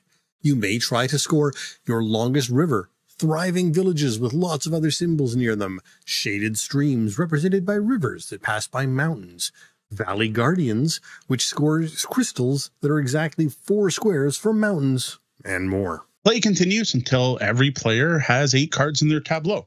Uh, there'll be one left over in the deck that won't get played. Players then score the global objective revealed at the beginning of the game, and then each of their own personal objectives they played face up into their lands. But here's the kicker they're going to lose 10 points per objective they placed. And that's huge. So the big thing you have to watch for here is to only put a scoring opportunity up if you think you can score more than 10 points with it. Now, Confusing Lands also includes solo rules. Here, you draw two cards, play one, and discard one. You then discard the top card from the deck and have to play the one under that. There's a small scoring track to compare your final result to, ranging from a loss with 9 or less points to astounding for 50 plus points. Now, we first saw Confusing Lands during con season, and this one caught my eye more than Envyborn's other pocket games. I was immediately drawn to it being reminded of Hokkaido and Honshu, but then I was like, eh, an 18 card version of Hokkaido or Honshu, I own both those games, and I like those games, so I kind of moved on. Now, I have to thank Deanna for taking a deeper dive and convincing me to give the game a shot. Yeah, I sat through a demo of this game at Gama Expo, and I immediately knew it was the type of two player game that we were going to enjoy playing at the pub. So I, I did kind of push Mo to make sure that we got a review copy of this, and I certainly don't regret it. Having now played the game many times, uh, it does have some similarities to those two Japanese themed games, but it's got its own thing going on. And that's mainly due to the fact this is a micro game. Uh, both those other games include rather large decks of cards and multiple rounds and auctions and all kinds of other stuff going on. This is much more tight and succinct with only 18 cards, only of which 16 get played each game, because one's going to become your global objective and one will be out every round. To me, this actually gave Confusing Lands even more of a puzzle feel, and it's definitely way less forgiving than those other games. Yeah, at first it seems like an easy game, but it's actually quite unforgiving. There is a uh, very puzzle feel, and you need to pay attention in order to score it all decently. Yeah, a lot of people are just pointing out that this is uh, a natural, nature version of Sprawlopolis, and there are a lot of similarities there. Uh, but it is its own game. They are just both another 18, uh, 18 card uh, card laying game. See, the difference though is in Sprawlopolis, you don't choose what to score. That's what sticks out here. It's almost like point salad that way. And the scoring system is brutal. You choose which scoring opportunities you're going to score. And none of them are easy to score. Like you almost never have a thing where you get a card and you're like, yep, I've already got eight of those. This is perfect. I'm just going to play that.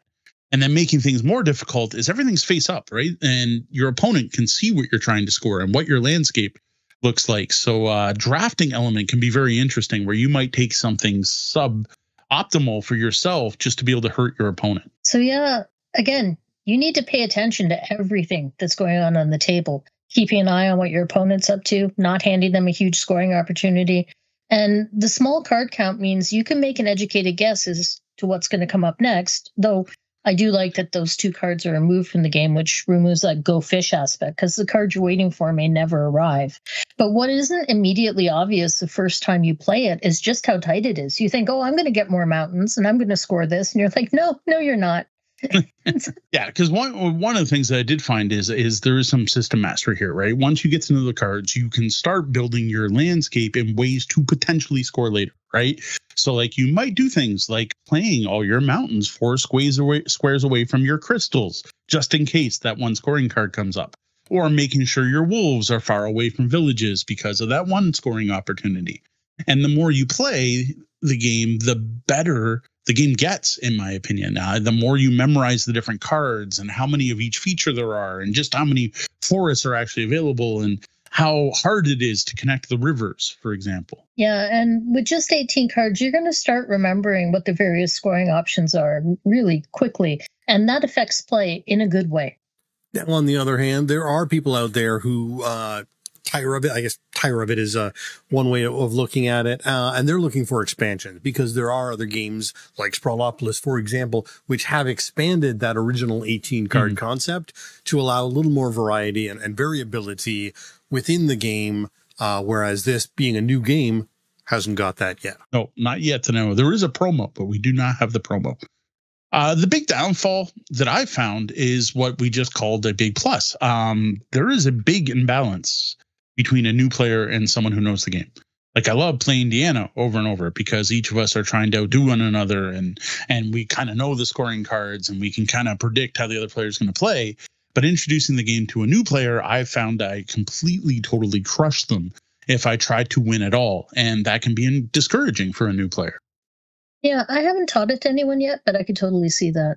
Yeah, I think this is very much aimed at that couple's target market, right? It's that game you're going to buy, you're going to put into your purse or your pocket and bring with you out on your night with your partner, your game playing partner, and you're going to play it before dinner or play it after dinner. Mm-hmm. And you two are going to develop together with it or, you know, take your solo turns as well. Uh, it's not because, especially as a two player game, it's probably not something you're going to use to introduce other game players to, uh, you know, into it. Now, another aspect I do like about confusing lands is that point salad aspect, right?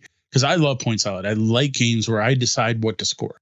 I love how every card here can be played as landscapes to try to score other opportunities or as a scoring opportunity. And what you're not going to find though that's in point salad is the ability to flip those when you're like, I drafted this one that's minus eight for every tomato, and I keep uh, having tomatoes. This isn't good. I'm going to flip that over to use it as a as a vegetable. You don't have that here. You're stuck. This game is not that forgiving. If you play a scoring card out there, you are losing 10 points for having that up there. So it better be worth more than 10. Yeah, every time we're playing, I'm like, man, do I wish I could cover up those scoring cards once they're in play mistakes get made. Now, another minor complaint about this is uh, I didn't find the solo rules very interesting. Um, you're not playing against anyone. There's no AI character. There's no randomness. You are just trying to build the best place, right? You were just playing yourself. You were building an 18 or sorry, an eight card tableau and trying to get the most points possible and you lose that fun of hate drafting or taking a card or or for yourself just so you can screw over your opponent. Um, now I will admit I am not a big solo game player, so maybe other people who love solo games may be more into this than me. But this set of solo rules wasn't for me. The solo version fell flat for me as well, um, particularly when compared to the other game that we checked out from NV Born Games, Sirens, which has a really clever and challenging solo mode.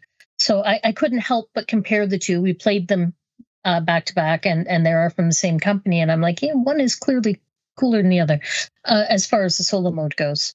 Um, the only complaint I had about the game, and it's a small one, is that depending on how it lays out, it's it can be hard to fit on a smaller table. And for a micro game, I it we managed to make it fit on a wee bar table, but it, it was challenging. I do think that this game, unlike Sirens, plays to a different solo market. So uh, Sirens mm-hmm. has that competitive feel. And some people really want that. Whereas there are a lot of lovers of solitaire, you know, the, the standard deck of games solitaire where you are just working to do something. And at the end, you've, you, you know, you've either done it or you're not. And you just look at your, your total score. Yeah. Uh, and so I think solo wise, it really appeals to two different markets between so, Sirens and Confusing Lands. Confusing Lands is my favorite Envyborn game now. This is the most enjoyable game I played from this publisher. Uh, feels super balanced, polished, and play tested. Uh, every game has been engaging. Game continues to get better the more I know the cards. Um, just due to the number of symbols, I don't think I'll ever memorize how many Elk are in that deck, but I'll at least know what all the different scoring opportunities are. Um, I really enjoy playing this with someone else who has the same experience level, and it's now a game I like to keep in the van, and we'll break it out whenever we find we have time to spare. Um, I haven't gotten tired of it yet. I'm not sure if I will. Yeah, I enjoyed this, and I'm never going to turn down a round. It's joining my favorite purse games pile. So if you're looking for a small box game that's almost pocket sized, small, easily fits in a coat bag, purse, glove box, uh, something that's quick to play but has lots of fun and engaging decision points, you really can't go wrong with Confusing Lands. Um, toss the box out, put everything in a Ziploc, and it really would fit in a pocket then. Um, our copy is currently behind me, but normally it lives in my van's center console now, just to be there, just in case Deanna and I are out, we're at a pub or a coffee shop, or we got to kill an hour while the kid's busy at school. Um, we can play it whenever we want. Yeah, and when I saw that when when I saw that part about it being currently in the van center console, I'm like, let's go, let's go right now. Just there you go. The game has the added bonus of being able to play solo, so it may be worth having on hand to play during your coffee break or lunch, or while waiting for someone at an appointment. I do appreciate that the option is there, even if I didn't love the solo game myself. Now, I called out two other games that use similar style of cards with different types of landscapes on them, Kaido and, and and or Honshu. And I've got to say, if if you are a fan of those, yeah, especially if you're a big fan of those and love those games, you should check out Confusing Lands because it feels familiar, but it's also quite different and, well, honestly, way shorter and smaller and takes up less room. So it's always great to discover a new indie publisher and watch them grow from the first time you run into them at a con, then seeing what is they've gone on to a year later. It's been awesome to see Envyborn grow, and I can't wait to see what they have coming next. What's an indie publisher that you've discovered early on in their publication journey? Which is a company you saw start off small that is starting to become something bigger? Um, who should we be watching out for? Let us know in the comments of wherever you found this review, or post something over on our Discord, or hit us up on social media. Now, if you enjoyed this review and like hearing about smaller indie games that can be easily overlooked, you can say thanks by joining our Patreon. Not only can you help keep the content flowing, but you also get access to cool bonus stuff like bonus audio and first thoughts reviews. Just head over to patreon.com slash tabletop bellhop. First, there was Bruges, considered by many to be the best Stefan Feld game ever published. Well, it's been updated to Hamburg, the first game in the City Collection. So the City Collection features updated and new games from master game designer Stefan Feld, all of which are being published by Queen Games. So we do have to thank for providing us with a review copy of Hamburg as well as other games in the collection. There are various versions of each game in the City series, and today we're going to look at the classic edition of Hamburg. There's also a deluxe edition with some component upgrades, and then there's a soon to be released essential edition that has a much, much smaller board, less wooden components, and a lower price point to match. What's important to know is that all the editions play the same, and mm-hmm. there are no gameplay changes between the editions. The other thing to note is that this is not just a new printing of Bruges. While the games are similar, especially in how they feel, and many of the mechanics are the same, Hamburg is a totally new, standalone game that is significantly different from the original.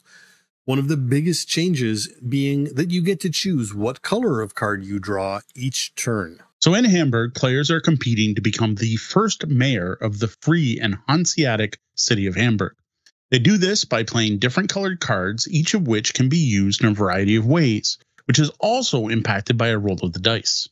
Build foundations, buildings, parks, and zoos contribute to the city walls, deal with disasters like flood, fire, and decay, and more. You also get six optional expansions that add more decisions, variability, and variety to the game. Component wise, Hamburg, even just the classic edition, is up there with some of the best produced board games. It has a ton of wooden components, dual layered player boards, standees, tiles, and tokens, a separate board for sorting the cards, and a huge main board that includes all of the info for all of the optional modules right there on the main board. Now, our only component, a complaint component wise, here is the sheer variety of icons used in the game.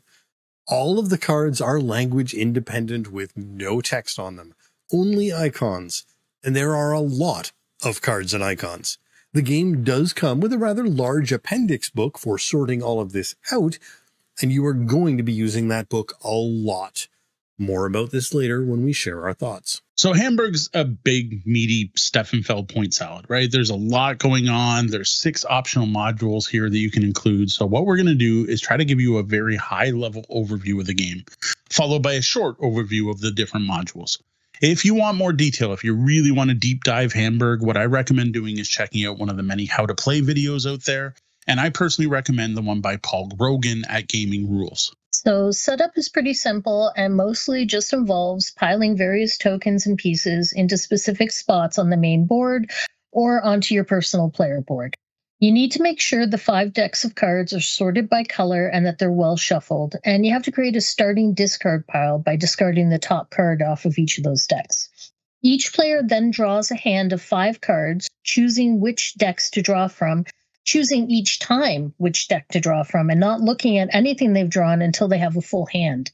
The game recommends one card of each color as a starting hand for anyone just learning the game, but then once you play it again, you can go wild and take four brown if you want. Now, each round in Hamburg starts with rolling the six dice. A cleric is placed on the spot in the church, ma- matching the number on the black die. This makes a certain type of card worth more points at the end of the game. Each die that shows a 5 or 6 represents progress towards a disaster, and each player bumps their personal tracks up one. If a 5 or 6 happens on the black die, each player gets a disaster token, which will show one of the other colors. If a player hits the end of any of the tracks, then that disaster happens, and the track resets. These are all terrible things that can really mess with your plans, like losing all of your workers to a plague or losing your buildings to flooding. Next, players have the option to advance the City Hall Square. It's a track in the middle of the board.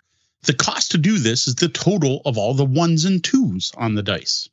Now, this track awards points at the end of the game and is something you can score points for having a majority in, being the highest up and the sole highest. You have to have a single majority. You can't be tied. Next up is the action phase, where players will take one action each, going around the table four times. For each action, players play one card from their hand and take an action based on that card. The cards are multi use, and the color of the card matters. Cards are two sided, with one side representing a building site and the other side a specific building. Buildings show a cost to play, how many victory points are worth, a building category, and some form of ability. Many basic actions require discarding a card. Do this to take workers matching the color of the card discarded, taking money equal to the value of the die of the card's color, decreasing the level of a disaster of the matching color and scoring one point, or constructing a wall segment these have to be done in a specific color order, which is different on each player board. And players get end game points for getting at least three walls built on each side and get to claim a point statue when they complete a side of their walls. Now, cards, instead of being discarded, can also be added to your tableau in front of you. Uh, parks and zoos are pretty simple. You play the cost and you put them to the left of your player board. To create a construction site, you play the card face down with the construction site side up to the right of your board, but you have to discard a matching colored worker to do so. Now, buildings cost coins, no workers or anything, and must be placed on an exacting existing construction site. So you need a site first, then a building. Note the colors of the site and the building don't have to match. Some people get that stuck in their head. Now, parks and zoos are buildings worth points on their own, uh, and buildings. So, point parks, zoos, buildings are all worth points.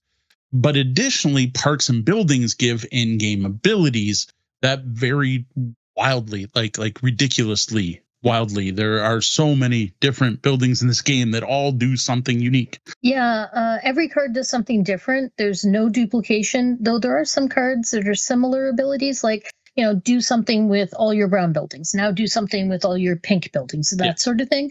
Um, but these can affect all phases of the game with things like letting you draw additional cards or generate money at the start of your turn, or letting you take additional basic actions, or uh, letting you score victory points at the end of the game based on what cards are in your tableau, et cetera, et cetera. There's a lot of variability. Now, many buildings once built can be activated, and this is tracked by putting a token on them. Most of these cost something, money, points, or workers, to do something else like score points, draw cards, gain money, build walls. Each building can only be activated once per round. Now, once all players have taken four actions, you do this check for majorities. Each majority is worth four points at the end of the game. And once you've got a majority, you don't have to do it again. Like you, once you earn the points, you've got them for the rest of the game. Now, the majorities you can earn include being the player highest up on the city hall square we mentioned earlier, player with the most points at that specific point in the game, player with the most walls built, the player with the most buildings built, and also the player with the most zoos. After this, there's then a quick cleanup phase, and a new round begins with players refilling their hand to five cards the dice being rolled again, etc.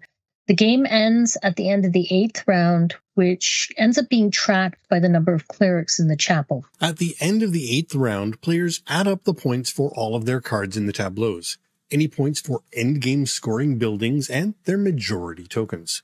Players can get up to six points for building wall segments and add those points to any on statues they claimed. Clerics award points for specific types and colors of cards players have in their tableau, and finally players add to the add their points for how high up they are on the city hall square. The player with the most points wins. Now, what may not get across from that is just how important what buildings you build are and how you'll be trying to find synergies and combos between your buildings. Um, even better is if you manage to form some type of engine. Uh, for example, having a park that at the start of every round gives you a gray worker, and then having a building that lets you spend a gray worker to get two workers of any other color, and then having a spot to spend one of those to say get points based on the number of orange sites you have. That is just one of uh, millions, possibly combinations uh, that you are trying to do in this game. There's a definite puzzle aspect. Yeah, I, I feel like it takes a bit to spot the engine in this game. Many of the possible card combos just don't make sense on your first or second playthrough. And then as you play it more and you learn what your options are, you begin to see how you can build up some really elaborate chains and just rack in the points. So there you have a very broad overview, honestly, of how Hamburg plays. Next, we just want to touch on the expansion modules, uh, especially because these are new to this version. Um, the first is one, of course, I like because uh, it's asymmetry. It, it gives you mayors. Everyone gets a mayor tile at the start of the game and picks a side to use. That gives each player an in game ability and the different starting resources. So not everyone starts in the same field. Yeah, I think that was my favorite module of them all. Uh, next up is the Hans Hummel and Lemon Jet statue expansion. This adds in more statues, including a second type that awards money instead of points for completing a wall section. Then there are special intrigue tokens, which add tokens showing two disaster types, as well as some that give a bonus in the form of points or coins along with a disaster. Next is the ship expansion. This is what many people consider to be a must use expansion. Um, it's also why so many people have looked hard for the expansion for Bruges which is very hard to find on the secondary market because it wasn't released in North America. That is now uh, part of this game. Now, when using ships, when a die rolls three or four at the start of the round, you're going to move the matching colored ship into port. Then, when players build walls, they can now discard a worker in the same color as the card used to build the wall to activate any of the ships that are active that round. Now, each of the ships offers a different powerful ability, including in anything from like just get a few coins to be able to reactivate a one time use building. Then we have the stock exchange, which is interesting as it takes one of the standard actions and makes it worth more doing that for three actions and then worth less doing that for three before you swap to another action that the stock exchange is going to highlight. For example, if you're building a build sorry if building a building is what is up in the stock exchange then the first person to do so gets a discount of one and then the next player gets a discount of two and then three.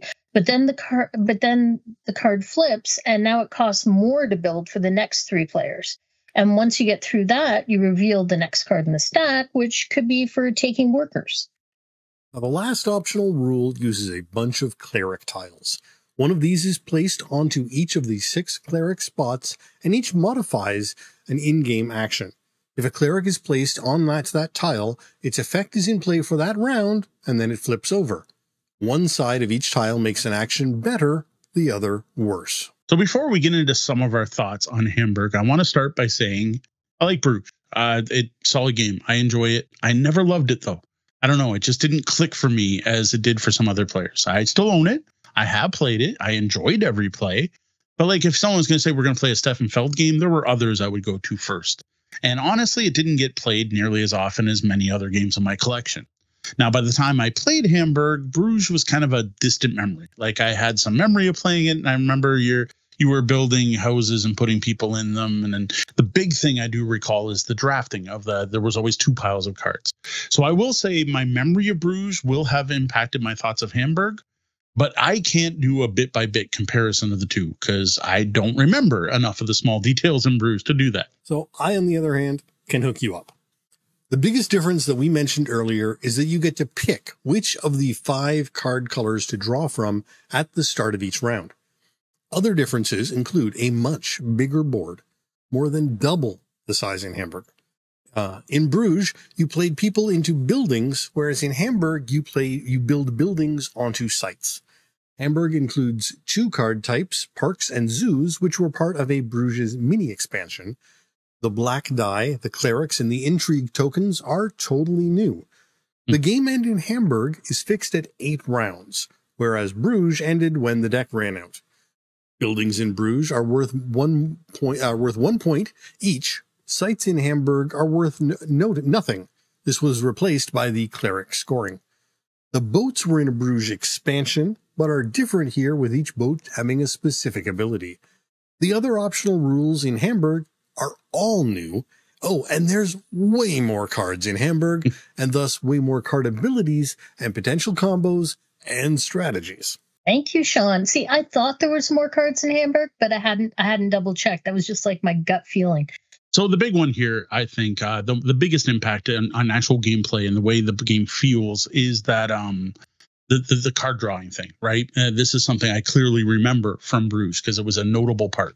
So in Bruges, you had two choices. You took the deck, you split it in two, and put them on this special little drawing thing, and you had to draw one card at a time.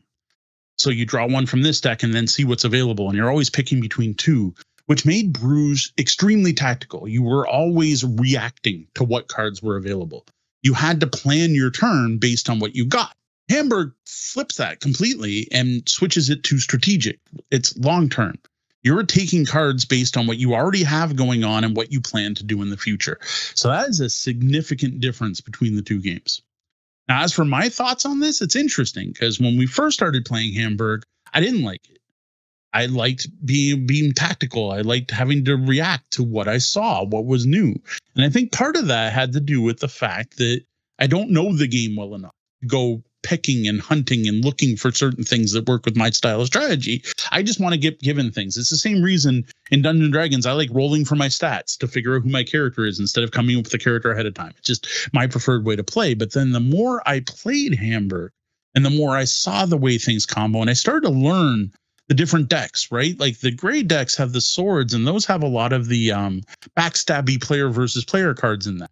You don't know that until you played the game multiple times right? There are certain decks that have more zoo cards in them. And then there's certain decks that the entertainment, the purple seem to be a lot of cards that depend on having more purple cards in play, right? Once I started to learn that, I started to prefer having the choice. Mainly, though, the other thing I remember a lot about Bruges is I remember having an awesome engine that required orange workers and then never seeing an orange card for the rest of the game.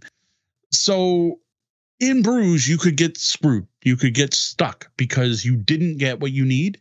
That's never going to happen in Hamburg. You can always draw the color of card you need. So yeah, I found I like that setup for Hamburg where you can pick your card color. It's also worth mentioning that the individual decks are rather large. And there's so much variability to which cards you're going to see in any given game. You see just a fraction of that deck each game. We played so many times, and every time I'm still finding new cards I've never mm. read before. Yeah, it's interesting because there's two different kinds of luck between Bruges and Hamburg. right? Like Deanna said, there, there, these are huge decks of cards. There is still plenty of tactical play. There's still plenty of reacting in this game required in Hamburg. And uh, I would say, honestly, for some players, there's probably too much randomness and tactics still. Uh, even though you get to pick which card deck to draw from, that doesn't guarantee you're going to get what you want. Like Deanna said, those decks are huge. Now, yes, when you're just going for workers or you're planning to build a specific wall section, yes, the only the color matters there. You're going to have the cards you need. That's not a problem. But for everything else, you're you're going to care about what buildings on the other side of those cards. And honestly, even when you're like, I am definitely need an orange card because I need orange workers, you might draw that card and go, that building's way too good to waste this on orange workers. Um, this is especially true for scoring cards that are based on having cards in the same category, right? If you're going to score two points at the end of the game for every theater you have, it's not easy to go fish. It's not like you're going to go deep into the deck. Yes, I guess you could spend your entire turn driving only purple cards, hoping to get that one theater, but that's probably going to ruin other things you have going on. Right. And as we were just talking about, the decks are quite large. So if you're hoping to find a particular card or even just a particular type of card, there are some buildings that allow you to draw again, but overall, there's no built-in go fish mechanic in the game and and that can even be mildly frustrating at times now there is technically of for every deck in the game a card that lets you search the discard and a card that lets you search the deck so i would say there is a go fish mechanic but then you got to find that card right the odds of those cards coming up are, are not guaranteed that's what i was hinting at by saying there's buildings that allow you to draw more but yeah now, the randomness doesn't end there either, right? Uh, in addition to being a card game with massive decks, this is also a dice game. And a lot of things in the game are driven by the dice. Um, how much money is going to even be in the market is driven by the dice rolls every turn. Um, if players can or can go up the city hall track, and one of the biggest is how many disasters happen in the game. Um, what colors of buildings are going to score additional points at the end of the game is based on the black die. Uh, if you're using the optional rules, which boats are going to be available, and so on. Now, I love it because this is the part that brings back that tactical feel of Bruges. What do I have to deal with this time, this turn? Am I going to have enough money? And note, you have to draft your cards before those dice are rolled. So you can't be like, oh, there's a six on the orange. I'm just going to draw some orange cards so I can t- tax. And man, those disasters. Um, I I love games about disaster mitigation. It's something I've always enjoyed. Um, there's some fields of In the Year of the Dragon in this game, which is one of Feld's first games, which is all about things going horribly wrong. And I love that. Losing all your money, though, or all your workers at the wrong point could cost you the game. Like literally, you could never be able to recover from that. And on a, we had a game where the second half of the game, four out of eight rounds, no one could go up the advancement track on the city hall track. We did not roll any ones or twos. Yeah, and you can't foresee that. Like, who's going to guess that we're going to go through half of the game without rolling low enough numbers for there to be a cost to go up on the City Hall track? Right. And that random dice aspect, along with the stunning amount of variability that comes from the cards you end up with, like, I love how all that combines to make a game where you constantly need to be adapting your strategy. Well, we've talked about some of the randomness and how that might be an issue for some players there's not everything coming up roses for this game. The thing, the, the the bear in the room, the whatever, the elephant in the room is that that, that proper? I'm I'm mixing up my metaphors here, or whatever those are actually called. That we haven't talked about is uh, the most significant and honestly potentially game breaking problem with Hamburg is that iconography. All of the iconography, every card is unique. Um, yes, you're going to see some symbols like collect a coin or get a victory point that are pretty straightforward but almost every single one of the cards ha, you, has unique iconography that's different from everything else. Um, I, for years, people have always held up Race for the Galaxy as that icon game. That oh my god, the game is good, but the icons, yeah, Race for the Galaxy is uh, that's pablum. That's nothing. That's that's a that's a kid's game. Compare it to Hamburg. If well, Hamburg exists, and honestly, I hope nothing ever beats it. This is the game with the icons. Um, there are so many icons and similar icons that honestly, the, the best way to know what your cards do is don't even look at the card, look at the number of the card and grab the appendance book and look it up numerically. Um, after more than five plays, I still have to look up many cards. And often I will look up all my cards just to double check I'm not reading something wrong. I think it was on our seventh or eighth play, I finally figured out the difference for the discard deck and the draw deck. And it's like the the back of the card on this icon that's so tiny. Yeah, I thought I was starting to grok the iconography, and then twice I've had a card where I had interpreted it incorrectly. So now it's back to check the appendix every single time. Now, in their defense, you can buy a expansion or, or replacement aspect for this game, which has language cards. The game as shipped is language independent, but you can purchase either German or English text cards. And for some people, this may be the, the make or break. Uh, I've seen yeah. people saying this game is an eight with language cards and a two without. it's, that's big. Like I said, it's, it's, it's, it's huge. Uh, like the big problem with this is it makes the game long. Everyone is spending a ton of time looking stuff up. Now, our biggest tip now is to find a PDF copy of the rulebook. There's one out there from Queen Games and make sure everyone's got a copy of that on their device of choice. That way, everyone can be looking in the book at once. Um, that'll save a ton of time. And and by a ton, I mean like an hour or more. Like like this is significant amount of time. There are eight rounds in the game. On average, players get four new cards each round, right? Um, and plus, I guess your first hand you have five. So you're looking at like 32 cards minimum.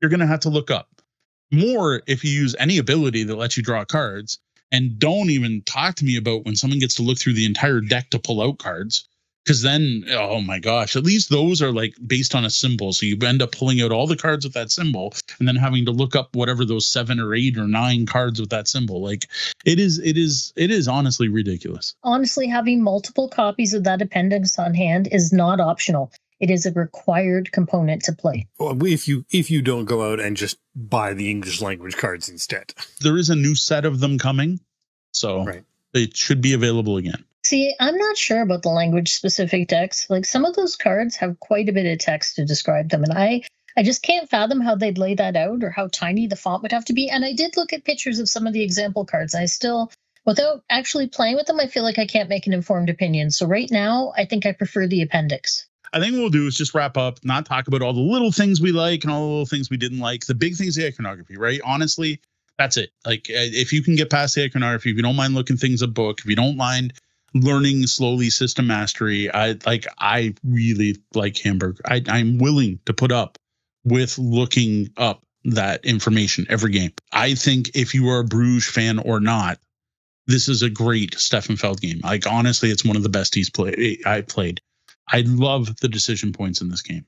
I love the tactics. I love the strategy. Well, at first, I didn't like the, the, the five different decks to pick from. Um, once I learned the game, I really appreciate that I'm not going to get ruined by a badly timed uh, draw, right? I can always get what I need to run my engine, which I appreciate. And I even like the push your luck aspect, right? The disasters. Like anytime a disaster's hit me, it was my fault. I could have done something about it. You can completely mitigate the disasters, but that's at the expense of doing something else. Uh, honestly, this is one of those games I expect to continue playing for years, hopefully, and one I look forward to sharing with others, uh, other Feld and Point Salad fans. I just wish it was it, it's a little too heavy for our, our public play brewery game nights, but if we ever get another game night going with more Euro games and longer games and heavier games, I I would love to bring this one out. Yeah, for me, this is a win on all fronts. I'm going to slot it into my current top 10 favorites. Uh, the appendix does not put me off at all. Um, there is so much going on here, so much variability, even before you account for the expansion modules. And I can't see getting sick of this game anytime soon. Now, as for the expansion content, we may as well bring it up. Love the boats. Boats are awesome. Mayors are awesome. We'll always use them. Uh, I don't know if the boats fix the game, but it is nice that every die does something and it does give you a way to mitigate some of the other problems in the game. The more ways to go up the advance, uh, the city hall track, more ways to reduce um, the disasters, right? So I do appreciate that. Um, stock market was better than I thought. That one surprised me. I'd take it or leave it. It's all right. Statues, sure, toss them in. Intrigue, sure, toss it in. Why not? I don't see uh, either way. I, I wouldn't care either way. I'd use them if people want to use them. Now, I will say I was not a fan of the cleric tokens. Um, especially we combined them with the stock market, which I missed a little bit in the rule book that kind of warned you not to combine those because it did make some things a little too swingy. Like, yeah, I'm getting a three discount for this and then another two discounts. So now my buildings are five cheaper is a bit much. and I don't know, there were just too many of them. That part felt fiddly. The the the clerics felt fiddly. Though I do appreciate any game that uses a drop the tokens on top to place them. Uh, drop tables just make me happy. I did like that aspect of it. To randomize the sides you start on, you literally just drop them on the board. So I did like that. But uh, yeah, uh, when we first started in the expansions, we approached them as totally modular, where we could choose to add in one piece or another. And I will say that we found that isn't entirely true. Some yeah. of the expansions have bits that rely on other pieces being in play. Um, from just having read the rules and getting an overview of how they play, I thought there was no way I would enjoy playing with all of the expansions at once. But it turns out we tried it and I actually dug it quite a bit. And then it turns out that, as Mo said, we missed fine print in the rule book where it says you should never play with clerics and stock markets in the same game. So, uh, minor extreme. Now, I mean, Bruges is the number four ranked uh, Stefan Feld of all time. And this has yep. taken a lot of the best of Bruges and add in a little more. So if, uh, if, if that's your jam, you should probably be looking at Hamburg. And honestly, if you're just a fan of Feld's games in general. If you haven't tried Bruges yet, if you like point salads, right? Lots of different ways to score points. And you don't have Hamburg, I strongly recommend picking up the best version that fits your budget. So I got to applaud Queen for that because of having a deluxe and, a, and, and an essential coming. Um, you you have options here for how fancy you want your game to be, which I do appreciate. Now, you probably also want to see if those language specific cards are available, though. Uh, it's like you said, from from what you say, a rating from an eight to a two, and I, I I I can't argue that. Or at the very least, go download multiple copies of the PDF version of the appendix. Now, if you are a Bruges fan and you already have a copy, you may also want to pick this up, as Hamburg feels like Bruges, and Bruges is getting a bit long in the teeth, and you've probably played it a lot of times. This is a way to get that same feel, but make it fresh with some interesting changes. Plus, if you really don't like the draw from any deck thing, you could always shuffle all the Hamburg cards up and draw from two piles. Now, if you are a gamer who likes Euro style games, who haven't played a lot of Feld games and are kind of curious, I think Hamburg's a pretty good choice. Um, it's one of those games that's way more intimidating than actually difficult. It's not hard to learn. The basic actions are all pretty simple. The only real big learning curve is that iconography. If it wasn't for that, I would almost suggest this is a good first Feld. But having to learn all those different things, well, it's going to be up to you and your group and your tolerance for having to look things up to make the final call on that. The important thing though is don't be scared of Hamburg, right? It's it's not the biggest, uh, massivest, huge, heavy game that's super intimidating. Uh, compared to Marrakesh, I would much rather teach and play and show someone new brew uh, Hamburg over Marrakesh, for example, for a game a Feld we reviewed. Like my mother-in-law loves this game. Like she has specifically stated um, please don't let this one disappear now that you're done reviewing it. We still want you to bring this one over. Yeah, it's a game that looks daunting. And yes, that whole need to look it up in the appendix thing could be off putting to some people, but it's really not overly complicated. I mean, I would by no means call this a gateway game, but it oh. just it flows in a way that makes sense and it's actually really approachable. So everyone else, give Hamburg a shot if you can. Uh, very solid, engaging play with quick player turns, ton of variability. So if you're hosting game night and showing it off, maybe print some of those copies of the appendix because you can't really expect people to show up with it on their phones. No, seriously, digital, printed, you need three copies minimum. so that's it for our thoughts on Hamburg, the first game in Queen's Games City Collection an update to Bruges that stands on its own as its own game and is much more than just a retheme. So so far we're I, I would almost say loving. We're we're really digging the city series. Um, first we fell in love with Marrakesh. Like Marrakesh is still up there. Um, I'm going to ask Deanna now. What is it, Hamburg or Marrakesh? Which one's Marrakesh? A, Marrakesh. Okay. Uh, now um, we've been actually playing New York City, which is a update to Rialto which there may be your gateway Feld. Uh, this is much, much lighter than the other two games. Uh, you can expect to hear our final thoughts on that one soon. Marrakesh, Hamburg, New York. In the meantime, we want to know your thoughts on the City series. Have you played any of them? Which ones are your favorites? What are your thoughts on the price point?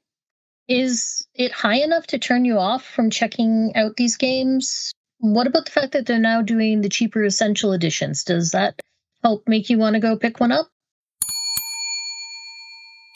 Well, that was the double bell. That means our shift's coming to an end, and it's about time to lock the lobby doors, shut things down. Before we start locking things down, let's take a moment to thank a selection of our Tabletop Bellhop Patreon patrons. Welcome, Gutshot Games, our latest hotel guest. Welcome, Gutshot Games. Awesome.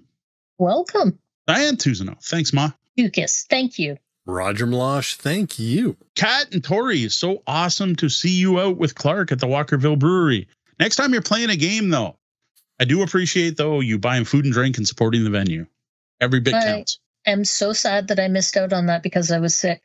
Jeff and Sheila Seuss, thank you for your support. Now, your first stop to finding us should be at tabletopbellhop.com, but you can find us all over the web as Tabletop Bellhop, one word, and on your podcatcher of choice as the Tabletop Bellhop Gaming Podcast.